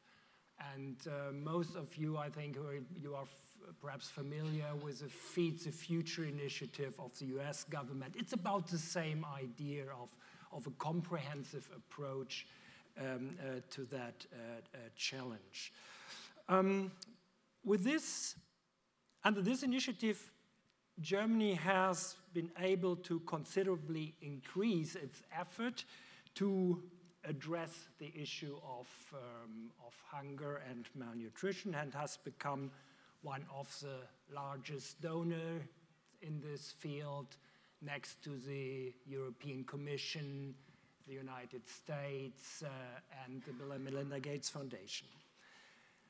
This One World No Hunger initiative has a strong focus on Africa and follows, in general, generally speaking, three goals. First, promote innovation and increase productivity in the agriculture and food sector. Second, make sure that no one is left behind, that everybody, and in particular vulnerable groups, women and children, have access to affordable and nutritious food. And third, promote a sustainable use of and an equal secure access to natural resources. We see the need in particular to stop and reverse land degradation, in particular in Africa, which seems to be a real, a serious problem, and to improve land governance and land rights. We have not only launched targeted bilateral programs and contributed to multilateral endeavors. We also took the chance to co-shape the international food security agenda. In particular, we took advantage of the fact that Germany was holding first G7 presidency in 2015 and is still, as Joachim pointed to, holding G20 presidency this year. Under the German presidency in 2015, the G7 agreed to help 500 million people out of hunger and malnutrition by 2030. This, the G7 took adequate responsibility and their share to reach SDG 2. But the G7 have not only set this strong numerical target, they also agreed on how to reach that ambitious goal. They agreed on a so called broad approach. They underlined that higher yields, higher productivity in agriculture is necessary but not sufficient to solve the problem. They underscored their commitment not just to invest in agriculture, but also in nutrition related measures, resource management, and land governance. These are the main extra miles we all have to go. This year, again under German presidency, the G20 once again underlined the link between food security, agriculture, and broader rural development. They put an emphasis on rural youth employment. Today, 1.2 billion young people between ages 15 and 24 live in the world. In Africa alone, 440 million young people will enter the labor market by 2030, a majority of them in rural areas. This is a tremendous challenge that must be turned into an opportunity. The youth bulge we were all talking about must be turned into a demographic dividend. The rural youth must become the drivers of inclusive rural transformations and create opportunities for sustainable development that provide them with adequate quality life prospects. The future of the rural world. This was the title of a G20 conference in Berlin in April this year. More than a thousand participants, among them very many young people from civil society, private sector and science discussed and adopted the Berlin Charter for Rural Development. This charter provides very valuable guiding principles and policy recommendations for rural development. It was very encouraging to see the enthusiasm and the commitment of the young people in this conference and in particular in the whole preparatory process. And their, their signal, their political signal was very, very clear.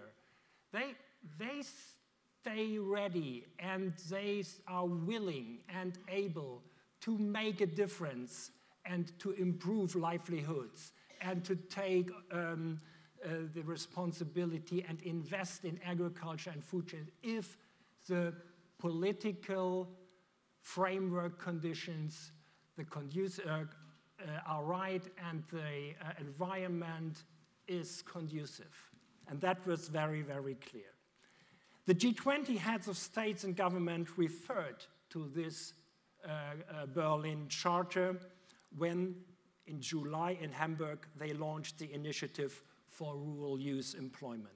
This initiative is unique and ambitious. For the first time, the G20 agreed on very specific numerical targets, for example, enabling 5 million young people to benefit from training opportunities and creating 1, billion, 1 million jobs for young people by 2022. But how can a transformation of the rural economy in Africa be achieved?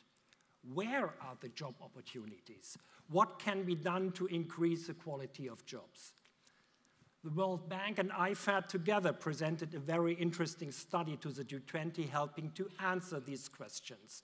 They identified three action areas. First, promote growth in the food value chains. Second, ensure that policies don't undermine employment intensity.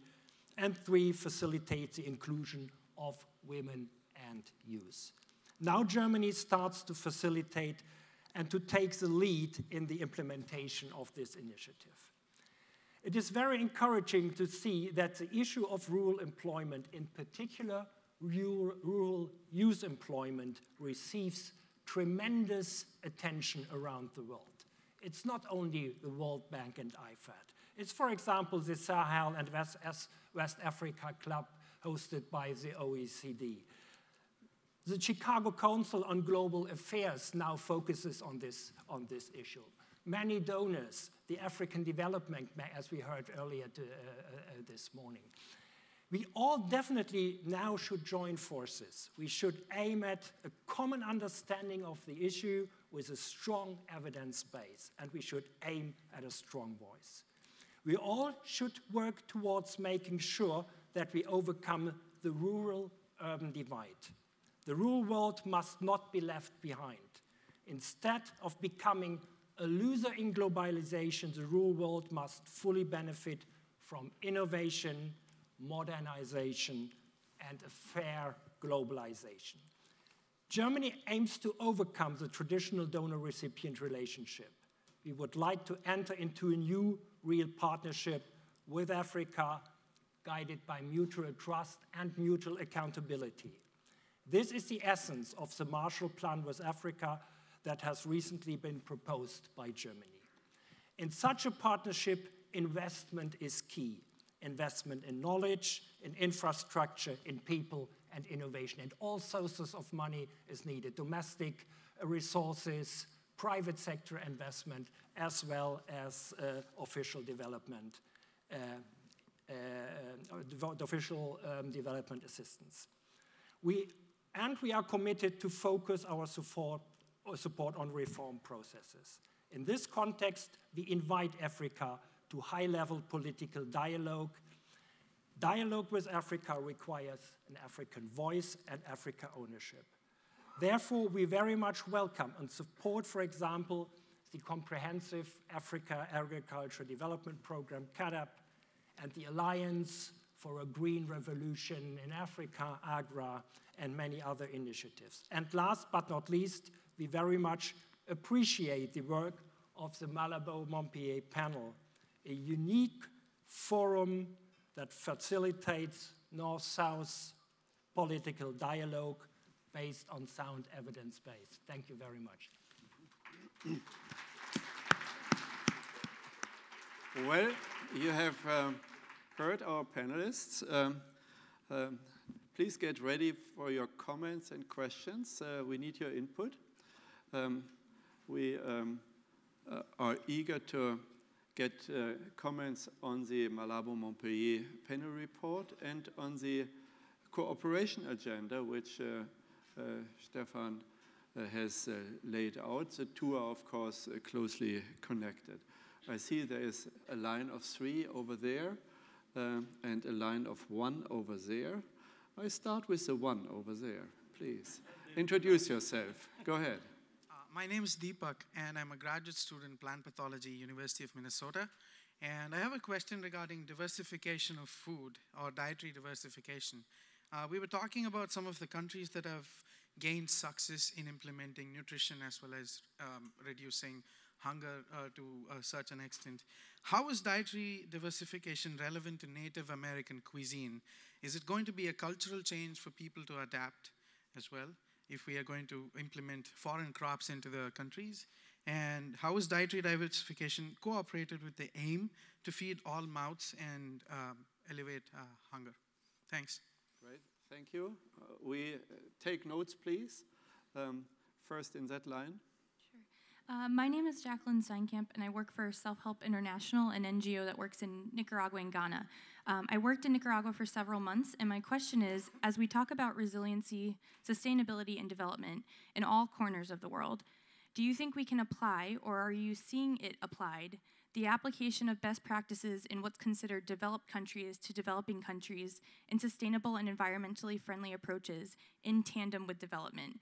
For example, Germany is considered to be a leader in green uh, infrastructure. Can we apply more green infrastructure rather than gray as we work together in development, um, especially seeing the issues with climate change? Okay, second in that line. Thank you very much. My name is Bongiwe Njobe. I'm South African, but I'm here in my capacity as the chair of the Global Forum for Agricultural Research. Um, I'd just like to, I'm, I'm, very excited by the outcome of the Montpellier Malabo panel because, particularly because of its political, African political leadership in driving implementation.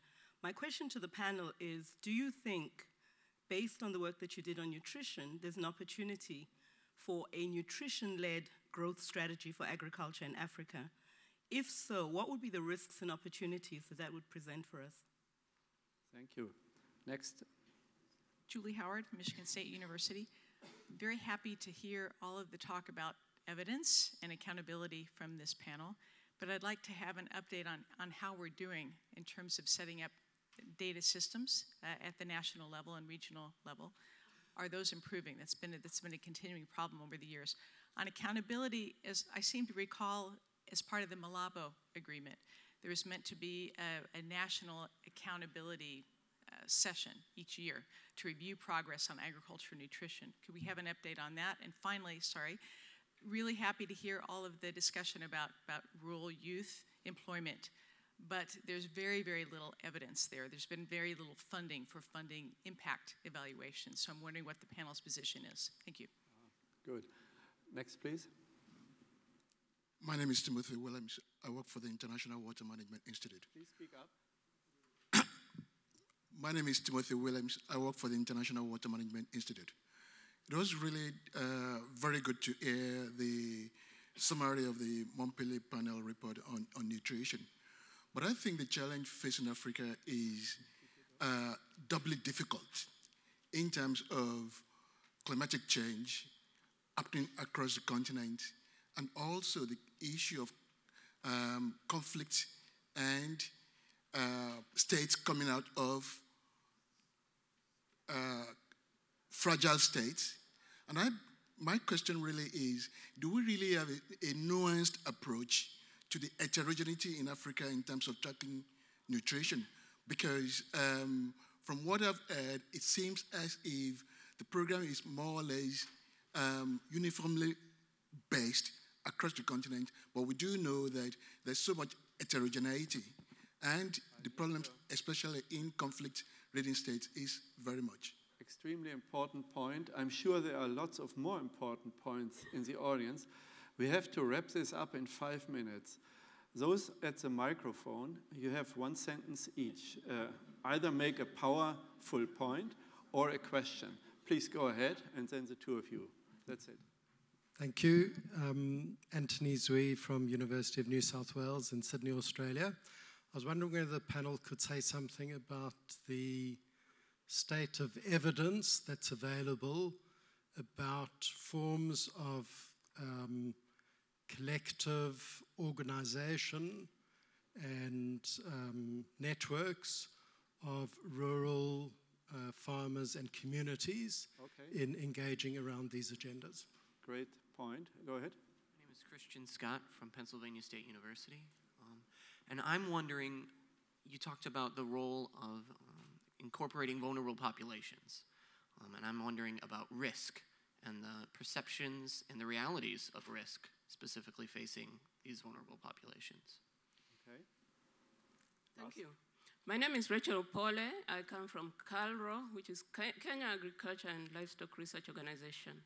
To the Minister for Agriculture, I think in Zambia, I don't think our African children need to be malnutrition, uh, suffer malnutrition anymore because we are, we are, we are um, endowed with a lot of um, local crops. In Kenya, we have finger millet and sorghum. These are crops that can provide all the nutrition that the children need. So maybe we can dialogue later on and I'll give you uh, some insights on some of these crops that can improve child malnutrition. Thank you. Thank you, thank you.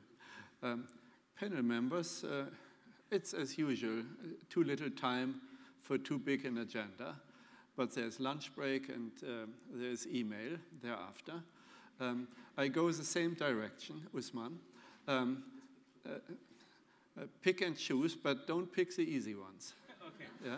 I'll pick the hardest ones. All right, thank you. Uh, first, on um, can we have a, a nutrition-driven uh, agriculture development agenda, or how do we deal with heterogeneity on dealing with nutrition? I think we can put those two uh, together. Um, uh, where we're starting from is that, um, especially nutrition, this will be maybe different in different cases. Uh, we should have much better nutrition outcomes with the resources we have at hand. We're underachieving because many governments just at a loss. They don't know where to start and how to do it, how to wrap their hands around uh, these problems. So that's why we think that figuring out where things are working and how it's working and why, and giving people the sense of being able to enact change uh, to achieve better uh, results with the resources they have, while they can harness more resources for much bigger results, is extremely important. Now, whether we call it nutrition-based agriculture development or how we do heterogeneity, we think that showing what works and why and how it works, and then addressing the leaders at the highest level, those who will take and set the agenda to understand that there's a possibility to make change here. Uh, next on accountability and numbers and data, uh, there have been an amazing thing that happened this year. The first, uh, actually it's happening now, uh, the first um, round of the biennial review that African heads of states have mandated. They have asked all the countries to come and report every two years on each and every of the targets under Malabo. Uh, we've been working very hard, um, we IFPRI and our programs in Africa, to support countries to prepare and deliver the reports. 43 out of 55 And you know, out of those 55, there's some that wouldn't do it, uh, Central African Republic, Somalia, and so on. So mostly more than 90% of those who would have turned in a report. Uh, and it's been quite a successful round. It's going to the ministers in the coming weeks and to the heads of states in January. And the data system and the review systems are in place in those countries. I'll take up that question about diversifications and the concerns about investments in research in that area. I think you know, the developed world is doing very well in diversifying their diets, concepts understood about the variety of foods to eat. And then over time, uh, in, through globalization, uh, I can't, you know, I'm, I'm extremely amazed in 40 years since I started living in the United States how diets have changed in the US and now global plates, the plates are representing the diversity of the world, the endowments uh, nature had given us is really represented daily in the plates of my family and others in the United States. but the concern that we're expressing, excuse me, is with all the endowments that we have around the world and the blessings that have come to the world from the old world, and unfortunately, the old world's diets had shrunk um, with climate change and pressures from uh, the market and, and also emphasis on the few major crops that have really benefited from investments in agricultural research. And, and now, as palates get sophisticated in the developed world, these incredible ancient grains of the old world are finding themselves on the plates of people in the developed world. And so, unfortunately, with limited investment in those crops to increase their productivity, the few production tonnage that we get in the developed world end up on the, on the plates of people in the developed world and, and not meeting the crucial diet needs of people in, in developing countries. And so that's part of what the recommendation we're making is that I think these empty calories that are in the major crops of sorghum and corn and so on need to go through biofortifications to benefit an enhancement of nutritional quality. At the same time, we need productivity gains incorporated through investment in research in these in ancient grains, you know, the grains like teff in my country, where the poor, my neighborhood, my village that produces a lot of uh, teff, I don't see them on the plates of people in, in, in, the, in the villages. They go to the market because they, they fetch more money for them. The same for quinoa and chia, amaranth from, you know, from Latin America. And so these double approaches or multi approaches of uh, uh, asking for greater investment so that the benefits of you know, the uh, results of technology generation from reaching the endowments that nature had given us could be exploited fully is uh, the essence of the message. Colleagues, we are in overtime. Um, so very brief, Nachilala. I'll be super brief. So um, the climate challenge, climate change challenge and the conflict challenge do make the situation worse and vulnerable in Africa because of the effects on the quality of the crop and, and, and the output.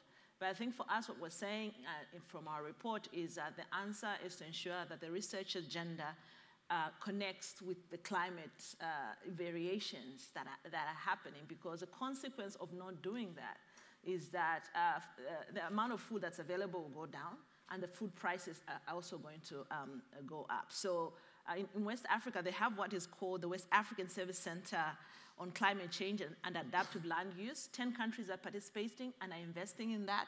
So we need more African countries participating in that and maybe more partners coming on board to support that, support African countries respond to the climate challenge.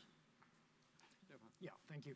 Uh, I would like to pick up the, the question of, um, uh, of transfer of experience, of, of knowledge, and so um, of course, this is, absolute, this is a crucial point, um, but I would say um, next to north-south learning and dialogue, south-south learning is equally important, and we all should think of how we could foster that kind of thing.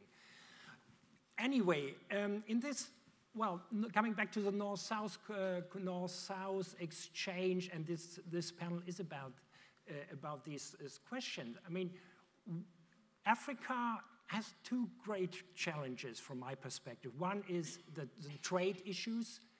African internal trade is far too weak. There are lots of trade barriers of various kinds. And the other thing is uh, many weak organizational structures. So there is, there is really a, a great potential for, for improvement. And in this, in, when it comes to organizational, not, not technology in a, in a narrower sense, but in the broader sense, how to manage a sector, how to manage a, um, a, a business, how to bring people together, uh, how to create um, producer organizations, and so give them a strong voice. That is something um, we can offer, not just from Germany, I think all over in, uh, in Europe and, and the US. We, I think we had made good experience with that, with good policies. And we invite uh, our partners to come to see in Germany how things run, and that's not everything they can learn from that. That there are a few things I think there are is, is, is good for, for learning and for, for, for, for dialogue. Thank you. Well, thank you very much. Let me close with two remarks. One is um, um, lots of people think we live in troubled times. Ending hunger, the fight against hunger, must not uh, be affected by this. Actually, I believe there is a large island of consensus to, in this time, address the hunger issue collectively across the Atlantic between Europe and the United States. Second remark is um, Africa has its own agenda. The development partners need to support that. That's what the Malabo Montpellier panel is about, rather than imposing external agendas. And the third, which I didn't suggest at the beginning, uh, Gordon, let's emphasize evidence base and respect for science. That's it. That's right. I, just, just two things. Stefan, the, there's a South South partnership that got launched here earlier this week between the Brazilians and the Africans on the savannas, and I think that's a most exciting partnership that's coming forward. And just going back to that last point of, of Joachim's, we're talking here about policies, new policies in particular, implementing policies that are evidence based. That means the evidence from science, from technology, from the social sciences, from economics. That's the way we're trying to do it in the Montpellier panel. It's the way that One World No Hunger is also trying to do it. It's, it's the trademark of what we're all about these days. Thank you all. Thank you, the panel. The lunch is up one floor. Is that right? Yes. Up one floor right now, and Raj Shah is going to be speaking. That was good.